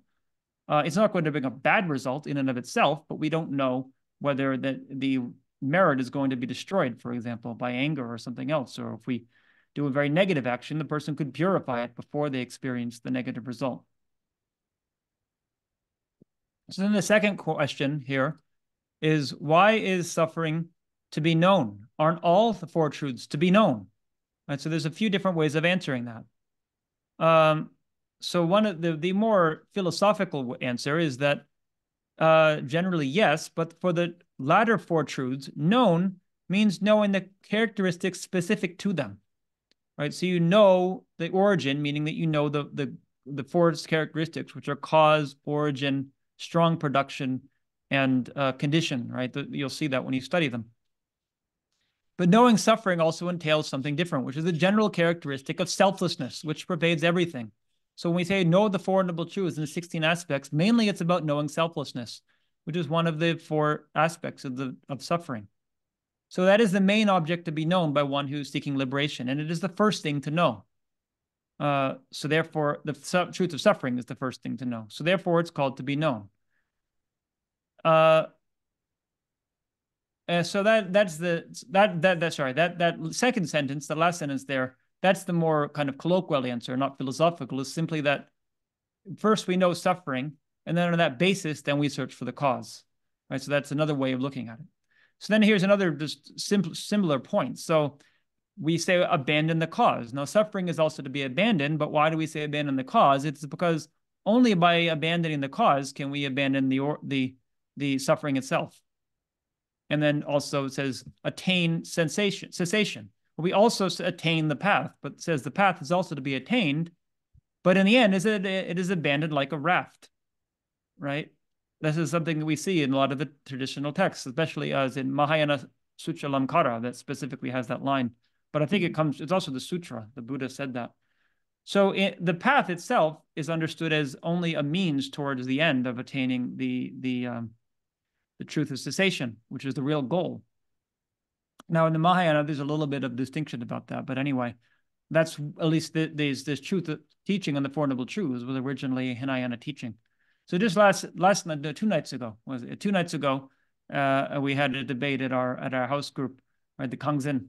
So these these two new Rikchung they came. Uh, they have to answer debate for us, and so uh, yeah, we asked uh, we asked him why because it says in the in the text, right? That the the the um, sutra that's spoken by ordinary sentient beings, uh, it is uh, it is not the final refuge because it is like a raft has to be abandoned when they attain Buddhahood.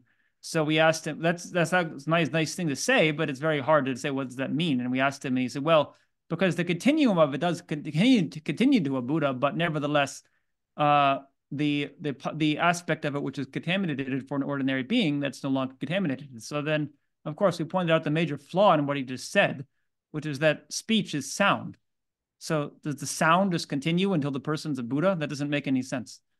Uh, so then he he had quite a bit of a hard time correcting himself there. That's that's just uh, some of the the fun points of debate. But what does it really mean? abandon something like a raft, right? What how, what do we do? It's, it is even still there to abandon. Okay, so back to the main point.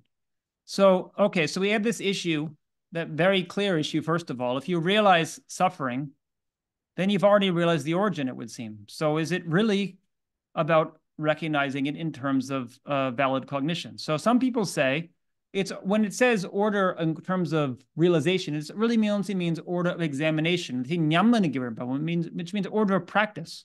Right. First, you spend some time thinking about the, the truth of suffering. It doesn't mean you have a like a valid, full valid cognition of it, where you have a realization of the truth of suffering. It just means that you you contemplate on it first, as a as your order of contemplation. So that's a very uh, easy answer in the sense that you can't really debate that so well. When somebody says that, it's it's you know it's okay. That's just how people. That's what they mean. Now, some of the problems are, for example, as I said earlier, in texts like Tsongkhapa, his text, he's very clear. It says ascertainment by valid cognition. So that's it doesn't seem to be what they're saying. However, we look at this presentation, for example, by Jetsun Chökyi Gyaltsen. It's kind of what he's talking about. So here he says, here there is a reason for teaching the order in accordance with the order in which they are realized by an object possessor. Initially, having examined carefully the general and specific faults of samsara, one generates the wish to be free of suffering. Right? So it's just talking about your own contemplation, and you wish to be free of suffering. Next one analyzes uh, Am I capable or not of separating from suffering? Does suffering have a cause or not? As for that cause, is it permanent or impermanent? Thereby analyze the origin, right? And then analyzing in that way, one comprehends that the karma and afflictions within the 12 links of dependent relativity. So the, the karma and afflictions, that's going to be the second and the 10th, the second, second and the ninth, sorry, second and 10th link. That's right. No, no, no, sorry. Karma is the second link. Afflictions is going to be the ninth and 10th, right? Craving and, and grasping, right? That's what they're talking about. So within the 12 links of dependent origination, uh, so did I say ninth and 10th? Eighth and ninth is what I meant. Uh, or cause of suffering. So one generates the wish, the mind wishing to abandon those. So thereby suffering is taught first and the origin is second. So there he's saying it's you what you what you examine in that order. And seeing that one can abandon the origin, one comes to see that it is possible to actualize cessation. Actualizing that, moreover, hinges upon having the path in one's continuum and meditating on it, on it. Thereby, therefore, cessation is taught third and the path fourth.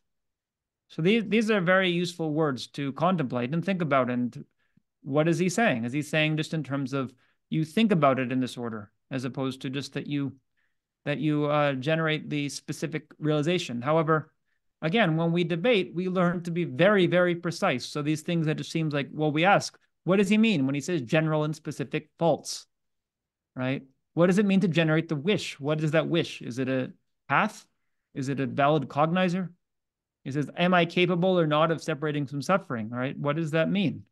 A cause or not? Is it permanent or impermanent? We have to be, every single word has to be looked at very carefully, but that's all honest. That's, um, you know, ideally what you would do if you were actually doing what he's, what he is, uh, instructing, right? You would think about exact, very precisely, what does this all mean? So, okay, so then another answer that people might mean is that maybe one doesn't realize the origin in its entirety. I think this is actually a more precise answer. So when we say realizing under the power, risen under the power of karma and afflictions, means realizing these as the basis of faults. One realizes some piece of karma and afflictions, but not the entire process. So we see that uh, to some extent, we can start to see that things, that suffering experiences come from past karma and afflictions. It does not necessarily mean that we understand the full process of how the 12 links function, which is what we need to do to really understand uh, the second uh, the second truth. So uh, to, to back this point up, here's this quotation from Dharmakirti, where he says that so there's one thing missing here, right? Karma and afflictions, but also ignorance, right? We have the 12 links. We said the second and then the, se- the eighth and the ninth, but the first link, ignorance, is also the truth of origin. So you might realize in a general sense that even, even non-Buddhists are said to be able to see that, that in a general sense, they can see how karma and afflictions leads to uh, exper- suffering experiences. But uh, they don't realize that the root of that is affliction is, is ignorance.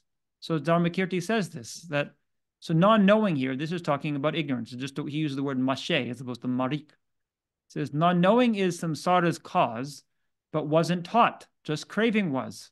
So in the sutra, when the Buddha said originally that craving is the origin of suffering, right? And in, in Theravada, they emphasize that very strongly, more so than in the Tibetan tradition, where they're they tend to uh, emphasize more on this this not the ignorance as the as the root and trying to generate the right view. So then he said, why was craving taught first? It says, it propels the stream and it is, is the immediate one. Karma is not because with it there is, there's not. So I'll say what that means. That's, exactly how he says it, but it's a little confusing. So craving was taught because it propels the stream, right? The real thing that's thrusting you into samsara and pushing you forward, that is craving right? Although behind that is ignorance, it's craving that's pulling you on. and it is the immediate one, right? The immediate thing that that bring that ripens suffering is craving. Uh, so uh, the ignorance is more distant. It's an earlier cause, and karma is not. Uh, so karma also among karma and afflictions, afflictions are more strongly the cause because and the reason is because with it there is there's not is meaning with craving there is still samsara with just karma there is not with uh, arhat still has karma they do no longer they no longer have craving they no longer have samsara. So you just realize so the point here is that you might realize some piece of karma and afflictions but you don't understand the underlying process of ignorance. So you just see a little piece of things. So then we have a debate from the clarifying the path to liberation. Now it's uh, we want to have half an hour for questions and answer, but I think we'll finish uh, because we started a little late. So we'll and we have so we'll finish this section here. It'll be that's I think the best way to do, it. and then we'll have the next topic next time. So a debate a debate from clarifying the path to liberation. This is Gyaltsab Je's commentary on uh, on Dharmakirti on the valid commentary and valid cognition. So somebody debates uh, this is similar point to this earlier thing about, you know, that you see suffering and therefore you see the origin. So they're giving a more broad debate here. So by first seeing suffering, by first seeing you can end suffering, you understand that you can end suffering. There, you must thereby see you can actualize cessation, right? So you, if you understand the origin, you should understand cessation already, because you see that you can end suffering. But you can see that the or it says no, the you know, want to abandon the origin. And by seeing you can abandon the origin, you will see that you can cease suffering. So the origin ought to, to be taught first, right? You should actually teach the origin first, and then you can understand what suffering really is and how you can cease it. And furthermore, seeing that you can abandon the origin hinges upon realizing selflessness. This is a very important topic, a very important point here, right? So it said that you understand first uh, that you want to abandon suffering. With the origin, you you realize that you can abandon it. This is, is, is explicitly taught in the sutras. Then with the cessation, you realize you want to be free. You realize you want to have that cessation. So if you realize you want, you can abandon suffering. You should abandon. You should realize that that the origin of suffering, which is ultimately traces back to the wrong view of the person, is a wrong view. So you realize selfless, selflessness. So therefore, you should have you should understand the path, which is the realization of selflessness. So the path ought to be taught even before the origin. So Gyaltsab Je responds, again with this idea that it really has to do with the stages in which you train your mind. To initiate any project, you must first see a benefit in doing so and a drawback in not doing so. So first you contemplate the general and specific sufferings of samsara and you see it as like a pit of fire. You generate a mere wish to be free of that. So mere, right? You don't understand the full scope of it. We just talked about that. You just what you can see, you're happy, you're not happy, you're opposite of happy, but you're happy just to be free of that. So you you want to uh you, the uh, the degree that you understand suffering motivates you to to then go further into it, into understanding. And you don't know that you don't have to know that you can be yet. So next, you ascertain with valid cognition that you can abandon the origin. How? Because you realize selflessness. You realize that the origin, which is ultimately based on the wrong view of the self, is a wrong engager, and thereby it must be it must be a counter to it, a, a way to counteract it. Doesn't necessarily mean you realize the path. There's a bit of a difference. You don't realize the direct perception that you can have a direct valid, uh, direct yogic perception of uh, of selflessness, you also don't realize all the different uh, uh, components that go into the path and all the stages. You're just realizing in a general sense. So with that, you see that you can actualize cessation. You can start to see that, well, if this was gone, there must be something different. That's this isn't the fundamental nature of the mind. This wrong view can't actually, it doesn't engage things as they are. So that's not how the mind really is is understood that the mind itself is not necessarily right or wrong. So this wrong view is adventitious to the mind. And finally, you see that actualizing cessation hinges upon meditating on the path. So you start to see that there's many stages to that path.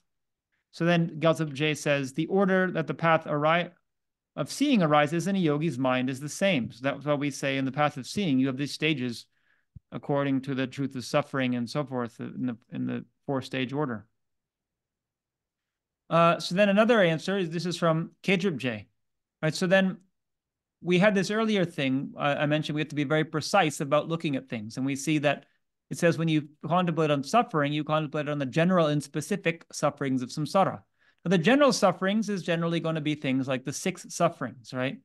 That uh, things are uncertain, they are uh, unsatisfactory, the suffering of being born again and again, uh, of giving up your body again and again, of going from high to low and being without a friend. Those are the six sufferings, right? So those are general to all of samsara.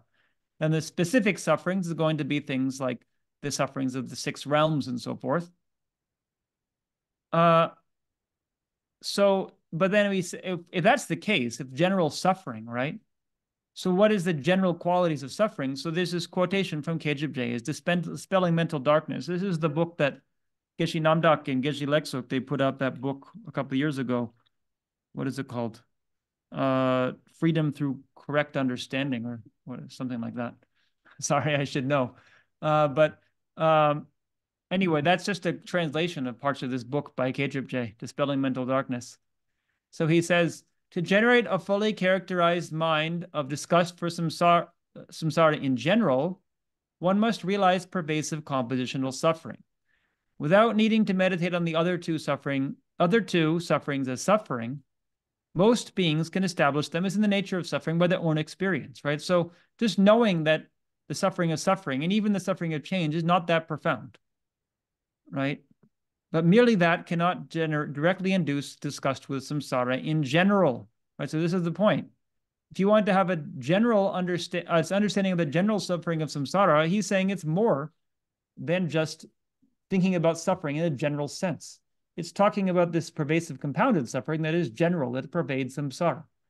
So otherwise, in the continuum of hell beings and so on, a mind of disgust for samsara in general would effortlessly arise, effortlessly, effortlessly arise. It would pervade that it always does because they always recognize that they're suffering. They're not happy with their situation. So he concludes, you need to meditate on these very appropriating aggregates, right? Understand that your aggregates themselves are in the nature of suffering.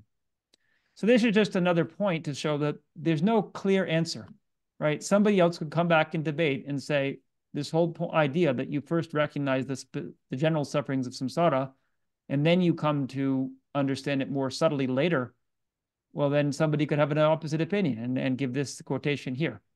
I'm not going to come up here with a with a conclusion. I'm just going to leave a lot of these points.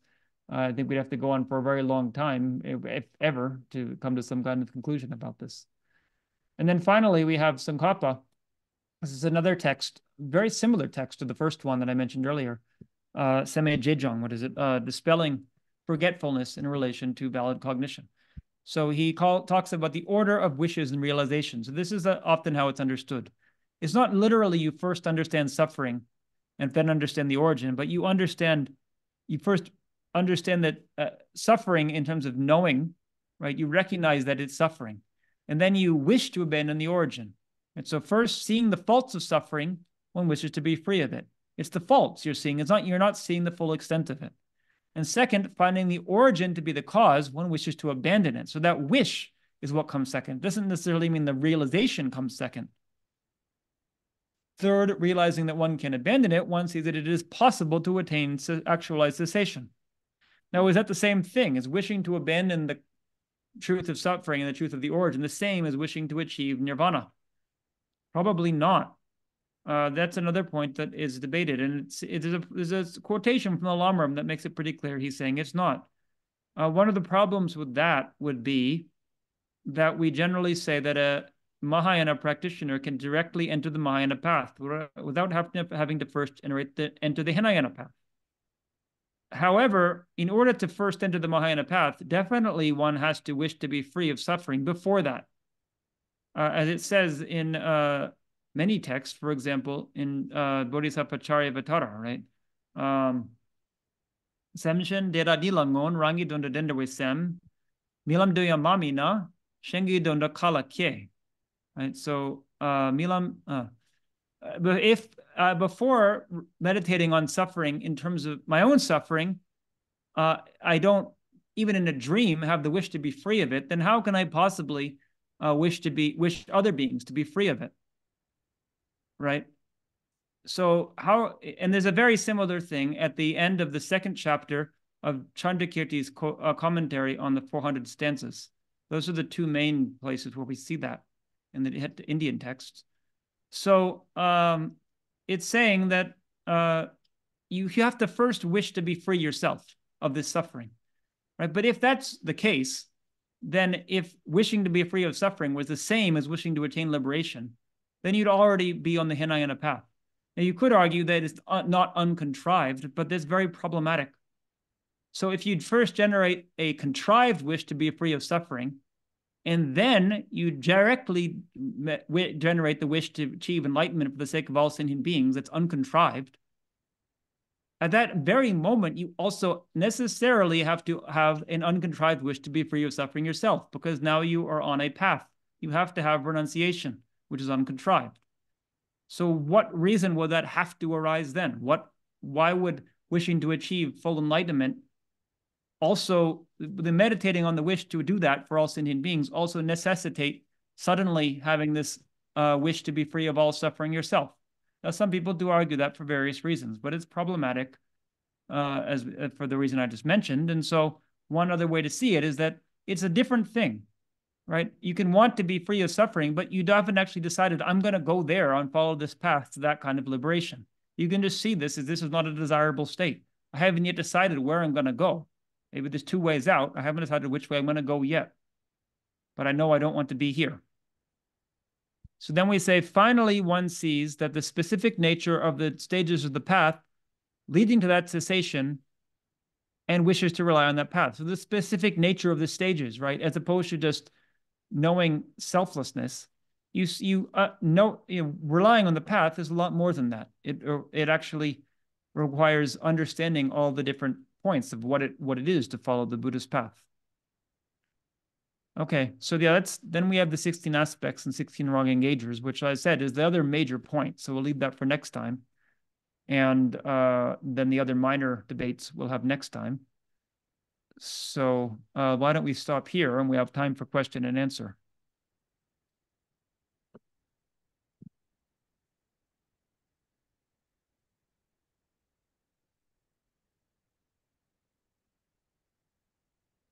Hey, Manabal Gachin, can you hear me?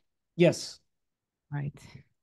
So I have a question, actually, also from the last week of our studies, that I feel I'm not uh, convinced. Maybe you can help me with that.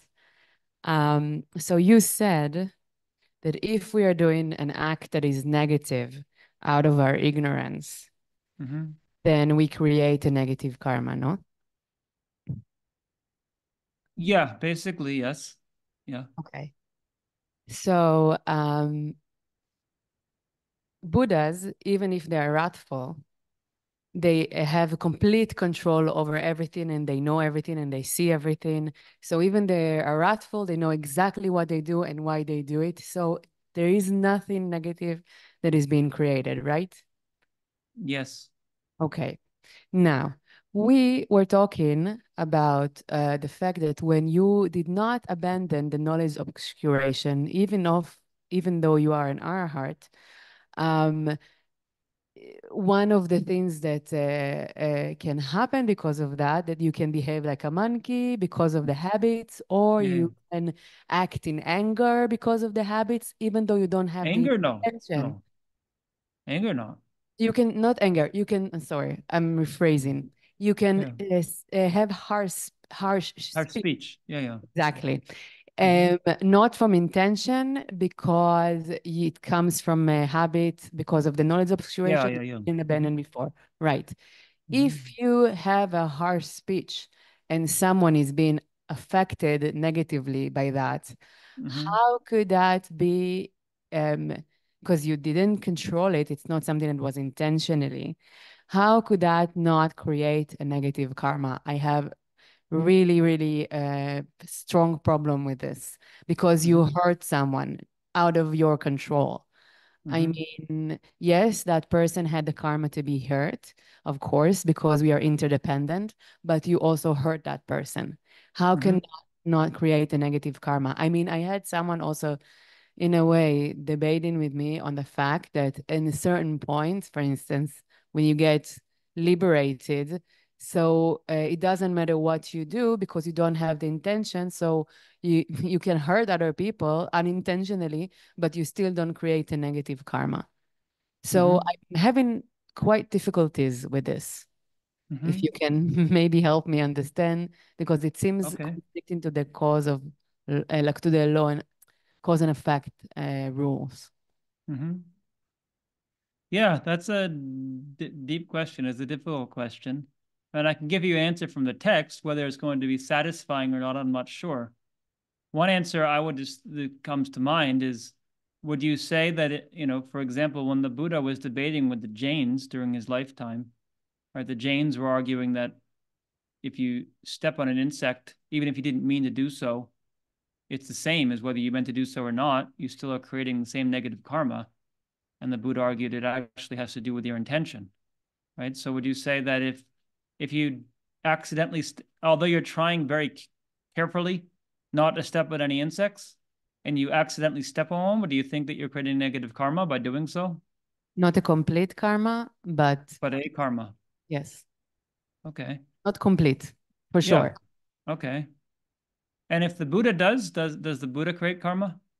But then we said the Buddha, everything that he does, he does out of controlling over him his Out mind. of control, right? Exactly, Okay. because he he he doesn't have the knowledge of obscuration. He doesn't do things that are coming from uh, uh the residue of an imprint that, con- Mhm. like you know, Mhm. as what was being mentioned. Mm-hmm. Well, okay. What about another question then? What if, um, you know, what if this uh, arhat, you know, by seeing this person, somebody else generates affliction and creates negative karma? Does the arhat generate negative karma from being the catalyst for that? It's also an interesting question, isn't it? For instance, we thought of a case that when arhat is supposed to be a teacher or whatever, and then he behaves like a monkey. Well, no, not that he's behaving like a monkey, right? But like, for example, there's a story. It's actually kind of ironic that it's similar. It's not meant to be similar, but there's a story of Mahakaccana, right, who was one of the students of the Buddha, at Arhat. And this has nothing to do with anything he did, right? He was a very good-looking man, and he was uh, walking down off the mountain one day and is shining in the sunlight. And for some reason, a, a rich man looked at him and says, "Wow, he looks just like a monkey." Now, it, it's not because he was doing anything wrong. Uh, I'm not sure why he looked like a monkey, but the Buddha said that uh, that that man who said that will be born as a monkey as a result of saying that, right? And the story goes, just this is kind of irrelevant, but it's interesting that this very rich man who was too proud to to to apologize. So what he did was because the Buddha said he was going to be born in this particular place, in this park. So he re renovated the park. So at least when he was born there, it was a little nicer. But anyway, the point is, uh, Mahakaccana didn't do anything at all. All he was, all it was was that somebody else had an affliction by seeing him. Well, he right? didn't It was just his presence there. Well, he didn't do anything. I'm talking about the one that does. Right.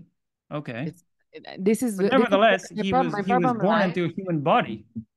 Right? He was born into a human body, and by being here in this world, his presence, you know, was was causing others to to suffer, which is kind of the nature of having an afflicted afflicted aggregates, a contaminated aggregates. So like whereas we we're taking on these contaminated aggregates and we just can't help it. It's just the nature of them that they that they malfunction and and say bad things and act like a monkey you know, because you don't have they're just they're they're under the power of their own their own trajectory from past actions, right? So you ha- you've accumulated this past action uh, that then is propelling you to this this speech, even though you're you don't want to do it because you're not in control of this stream. But this is exactly where my point is. When Mm-hmm. when these things comes out of lack of Mhm. controlling, I'm not talking about the Buddha. I'm Mhm. talking about the fact that we say, even in a gross level, we say Mhm. that we create karma from ignorance, not Mhm. being able to control our mind, habits, uh, whatever. But then when my problem lies is when it comes from you know it doesn't matter if it's gross or subtle in the regard of the fact that we still do something out of lack of control so if Mhm. if we do something negative out of lack of control then isn't it the thing that creates negative karma it doesn't Well, like really, I mean, the main thing that creates negative karma or- is the intention, right? That's why, This like, it's the very beginning of the fourth chapter of, of, uh, of Abhidharma. That's what I said. I'll give you the answer from the text, right? So, lele jikten that's okay, deni sempa tangde che, sempa yigi leyano, right? So, from the various, from karma, varied worlds arise. Uh, uh, this is intention and then the actions that it produces. So the intention is the mental karma, the actions are the are the body and speech. So the intention is the key. And the Buddha also said, right? So shonam yigi rangjin de, yigi rangjin uh, yigi so ngen la dro. Right. So the the every all things are the nature of the mind, not in the chittamatra sense, but uh, the mind is chief, all things follow after it. Right. So what really makes a, an action positive or negative is the mental state impelling it. Uh, so if there's no mental intention whatsoever, uh, it's very questionable how it can be a, a truly negative action. Now, what you're saying is a very good point, and that is a debatable point. But anyway, the uh, in terms of the traditional presentation, right, the idea is going to be that it it although there of course there is some negative uh, negativity in the process, there's nothing behind it. There's no person acting and thinking, I'm going to do this. It, it's just simply part of a stream that they're no longer, in some sense, connected to. They've detached from that. So they're not going to experience any kind of result. It's just kind of that stream is going to exhaust itself. They're they're they've they've got they've kind of abandoned ship and the ship is still floating and doing whatever it's doing, but they're not connected with it anymore. yeah um it's really it's contradicting I know it's a the things that I studied. I mean, it's like I'm Yeah. I'm I'm really puzzled. It seems like the the the the, the law of cause and effect uh, Mhm. doesn't go along with this. I mean, Mhm. if we say that everything that you do that is negative when your mind is not underneath control of everything, including the the subtle um afflictions, then uh, this is it just seems to be Well, subtle afflictions, right? The person doesn't have subtle afflictions. well right. knowledge obscuration. Let's just say the mind is not Right, but it's different, right? They have lack of control. It's very different than having, you know, unconscious intention to do something. Okay, okay. Out of the fact that there is some residue. Mhm. Yeah, I'm sorry. Anyway, I I just feel that uh, I'm, not satisfied. I'm, I'm, I mean, I, the, I, I, I, said, I told you. No, I no, I know, I know, I know, I know. Satisfy you. I'll give you the what we what, we would say from a traditional standpoint, but it is, uh, you know, I, so I think, you know, we we want if in terms of a debate, we'd want to structure it very precisely. Like, so what is, you know, so we say what what is the co- what is the th- specific thing that is considered the cause here? That and then what is the result of it, right? So, okay, so every result has a cause, right? But what you know, for example, um, you know, hair growing on my head is going to have some kind of cause. That doesn't necessarily mean that has anything to do with my own future experience in samsara, right? So where where you know we have to identify specifically where is the cause in relation to uh, the person's experience. Now, I just I think we should probably leave it because other people have questions, but yeah, this is it's a very good point to debate, and then try to be very precise about you know what is the question and then how what would be the the doubt that's left there and then how what would be a way to to answer it now i'm, I'm uh, you know kind of weaseling my way out of it here because uh, we have to move on but uh yeah that's why usually a debate can go on for for hours it's not it's not necessarily true that there's one obvious clear answer to it Um, Venerable, hello. I have yes hello uh well, depending on the the time. What time do we finish? I have a it's okay well i said i mean unless everyone else wants to go i said we started 10 minutes late so i may as well go 10 minutes longer here i think that's okay Um, yeah, so my comment was with just a, a comment or a thought is reg with regard to the slide on karma, where you Yeah. say, I can't remember what you said, um, is karma subtle and profound, or something like that, or uh, hidden, Very hidden. Right.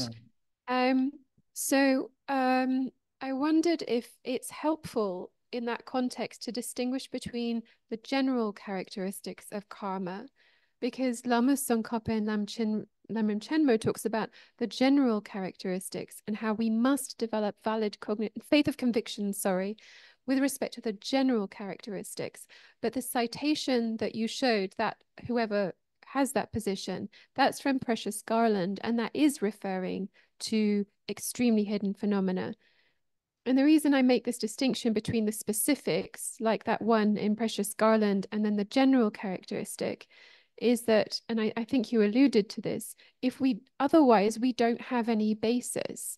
Lama Tsongkhapa in the Tantra Len Chenmo is Mm. actually almost wrathful in saying you have to generate refuge born out of conviction.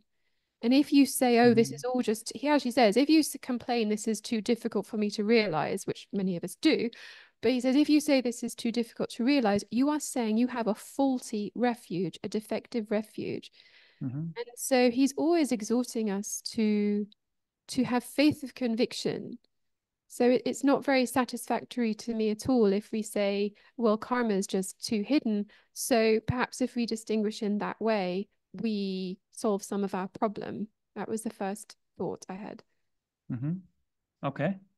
Um, now this second question, um, I I'd like to go back to the definition of samsara. Um, I was quite surprised by that, and um, if I remember, the, the the one that was objected to was defining samsara as circling, because you would equate circling with the circler. hmm And there was a verse from Fundamental Wisdom cited in support of that. hmm And I would cite Yes. Chapter two of Fundamental Wisdom that says movement and mover are not the same. hmm So I Okay. don't see the, can you walk us through that? I don't see a problem with broadly defining samsara as the condition of circling. It's quite nice. It's Well, sort of uh, I, I think I mentioned the point at that time that there was an issue of the the way the Tibetan reads, right? So it doesn't say condition. Right, the word in Tibetan is this Yangneanu Korawa or Yangneanu, you know. Uh so the the the the, the Tibetan the word kor, Korawa Mhm. in that sense, right? Cycling, it can also mean a person, right? Mhm. The, the like Dugnal Wa, we had we said before the native nature of suffering, and I said it was like sufferingness. This Wa sound, at the end of the term, at the end of the end of the word, it can condition, it can indicate both a state of something and a person who's doing an action. So Okay. in Tibetan, a person could be Kor Wa, in the sense of the one who is cycling, and the state of cycling could also be Kor Wa, the cycling. So it doesn't quite carry over into English, this ambiguity. Okay. Uh, But yeah. if we, so then if we separate the korwa that is person and the korwa that is just circling, then there isn't a problem, right? Well, also, if we just say, if we try to make it more specific and say that samsara is the condition of cycling in the sense of this abstract condition, then Mm. we'd say it follows that your body is not samsara because it is not the condition of suffering. It's a condition of cycling. It's a thing that's cycling. The condition is an abstraction. Mhm. It's so then it, it's like, well, how does that how does that pervade all of the different individual components of it? Yes, that's fair. I just find the true suffering in someone's continuum, it, it it's less um I don't know. It, it gives me less color and flavor, but yes, Well, I'm as I said at the time, it, it's more of a technicality. yeah. It it is. It's not something that some couple would say in the Lamrim because it's not really something that's you use in your meditation. You say it's all the true suffering in the person's continuum except for the person. It's sort of it doesn't, yeah, as you say, it doesn't have much flavor, but it's if you want to be very precise in your definition and saying identify which objects of, of a group are samsara, which are not, you can very easily separate this is samsara, this is not. You have a very precise definition. In that case, you give uh, give you five things. You have uh, a a pot. You have a person's nose. You have a person's uh, mental consciousness. You have a person, uh, and you have the object of contemplation uh, in the mind of that person. Which of those objects of are, are samsara and which are not? And then you can very easily distinguish which one is and which is not if you have a very precise definition. That makes sense. Right. Thank you. Yeah. Okay. Thank you very much.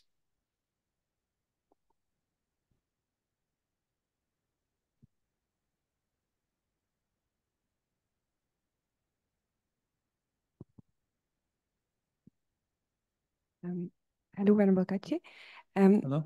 I have a question about um, so to to generate well in, in the context of the four truths here that you would generate a mere wish to be free on the basis of understanding general and, and um general general sufferings I think you said of samsara. Yeah. Yeah. Yeah. Um, so today in class we were talking about uh, dull and sharp faculty, and Mm. uh, like bodhisattvas, and I always wonder. The explanation is that the sharp faculties they understand that it is possible to attain. They have a valid cognition of that it's possible, and then they generate the the the the the wish to uh, follow that path. I mean, it's not exactly the same topic, but the idea is the same. Um, I wonder how that's possible. So here, if you have to say that they just do it on the basis of, um, it seems to be a more vague understanding, not really 100% valid. So is it possible to have a sharp faculty person? That's a very good point, actually. And some people say, and I find this hard to take, but some people say that somebody can't possibly have this sharp faculty approach until they've meditated for quite a while on the stages of the path. And so, necess- by necessity, when somebody is first contemplating on the truth of suffering, they're not a sharp faculty person in this context. That only comes from further meditation.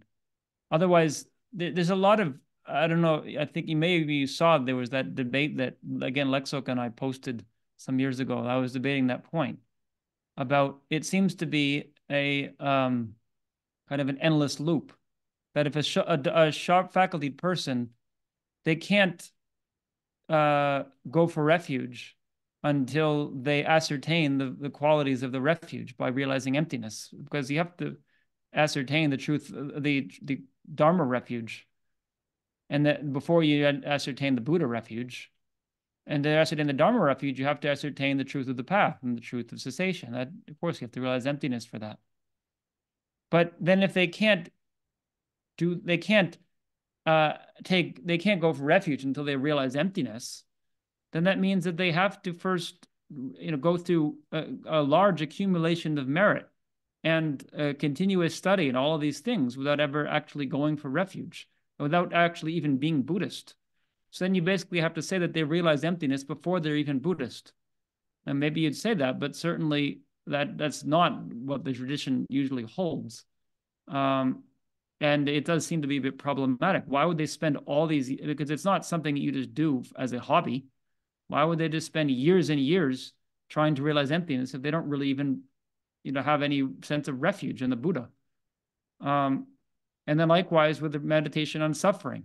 Why are they going to spend uh, their whole life practically trying to realize emptiness if they're just curious about whether the truth of suffering is true or not? Um, so there's different ways to get out of that. And one is to say that at the beginning people don't approach the spiritual path that way. That only comes through training another way would be to say that even for somebody of that of that level of mind they can also approach things in different ways. They they can approach through doubt is often how it's presented. So they they don't they come they hear about the truth of suffering and they don't say okay this is true or not but they say this sounds intriguing and it would be worth examining. And i think that's a very much in a, a quality that a, a sharp faculty person has to cultivate which is something that's often emphasized in science as well which is the ability to uh, hold opposing uh, view opposing ideas in mind and not settle on one right? So the ability to not really have a firm decision i believe this or that and to be comfortable with that to be comfortable with uncertainty um, and be willing for a long period of time to to to remain in that in that doubt um, but in a doubt in a positive sense that that motivates you. You're interest you think it this really matters. So it, it's important to actually find out. And i'm not going to just settle on simply ignoring it either. So i you want to take the time uh, uh, to do so. And in that sense, certainly you can you can start to see. You you although you don't know for sure, you might say that uh, you don't know for sure that all of this suffering comes from karma and affliction in the in the sense that the twelve links describe it, but you can see certainly quite a bit of the suffering, and you can see that uh, there's a, uh, uh, that that ordinary experience of you, most per, most human beings of most sentient beings is not something terribly desirable when you really get down and think about it. Um, so you know that that kind of leads you to a state of what's left, right? Uh, I think that's an ideal way to approach a path. Is that you know this is what often is described in, in at Sera that the more you the longer you're here, the the less certain that you become about these things, uh, and the more it all becomes just one big question. Um, but the more intensely you want to know the answer, it's not that you just become very uh, you know kind of cynical over time and uninterested. Uh, you, you know you start to see very clearly that you really want to know because suffering is clearly not something desirable. And there's there's hints about what how to get out of it and what is the cause.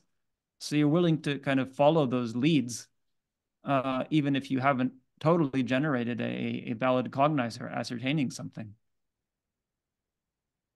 Okay yeah that makes sense. Thank you. Yeah okay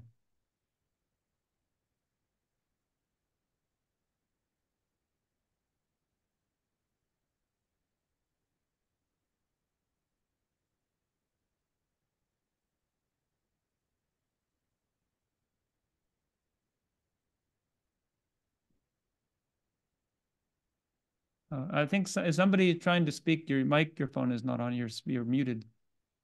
No, we're just um sort of looking at each Oh. other, checking if there are more questions. Okay. Okay. That was very insightful. Okay. Thank you so much, Venerable Gache. Um, I'm thanking you on behalf of all of us who are studying, you know, here. Um, it's really interesting, and thank you for sharing your wealth of knowledge so generously and answering our questions um, very kindly and, and with, yes, with precision and patience. So thank you so much. We're very grateful. It's been really interesting talk. And um, yeah, we look forward to delving into more depth next time as well. But thank you for the great food for thought. We've really appreciated it. And I've been keeping track of some of the comments as well. And people are really grateful. So thank you so much. Very kind. Okay. Yeah. Thank you all. Yeah, I was very happy to have the opportunity to read over these points again. And uh, yeah, we have the second half of the presentation already prepared. So next time, just we'll figure out the date and we can continue with that. Thank you. Okay. Okay, thank you very much. Thank you. And so we'll meet again for the second installment. Okay. Very good. So- Thank you. Good night or good afternoon to all of you. Good night, Venerable.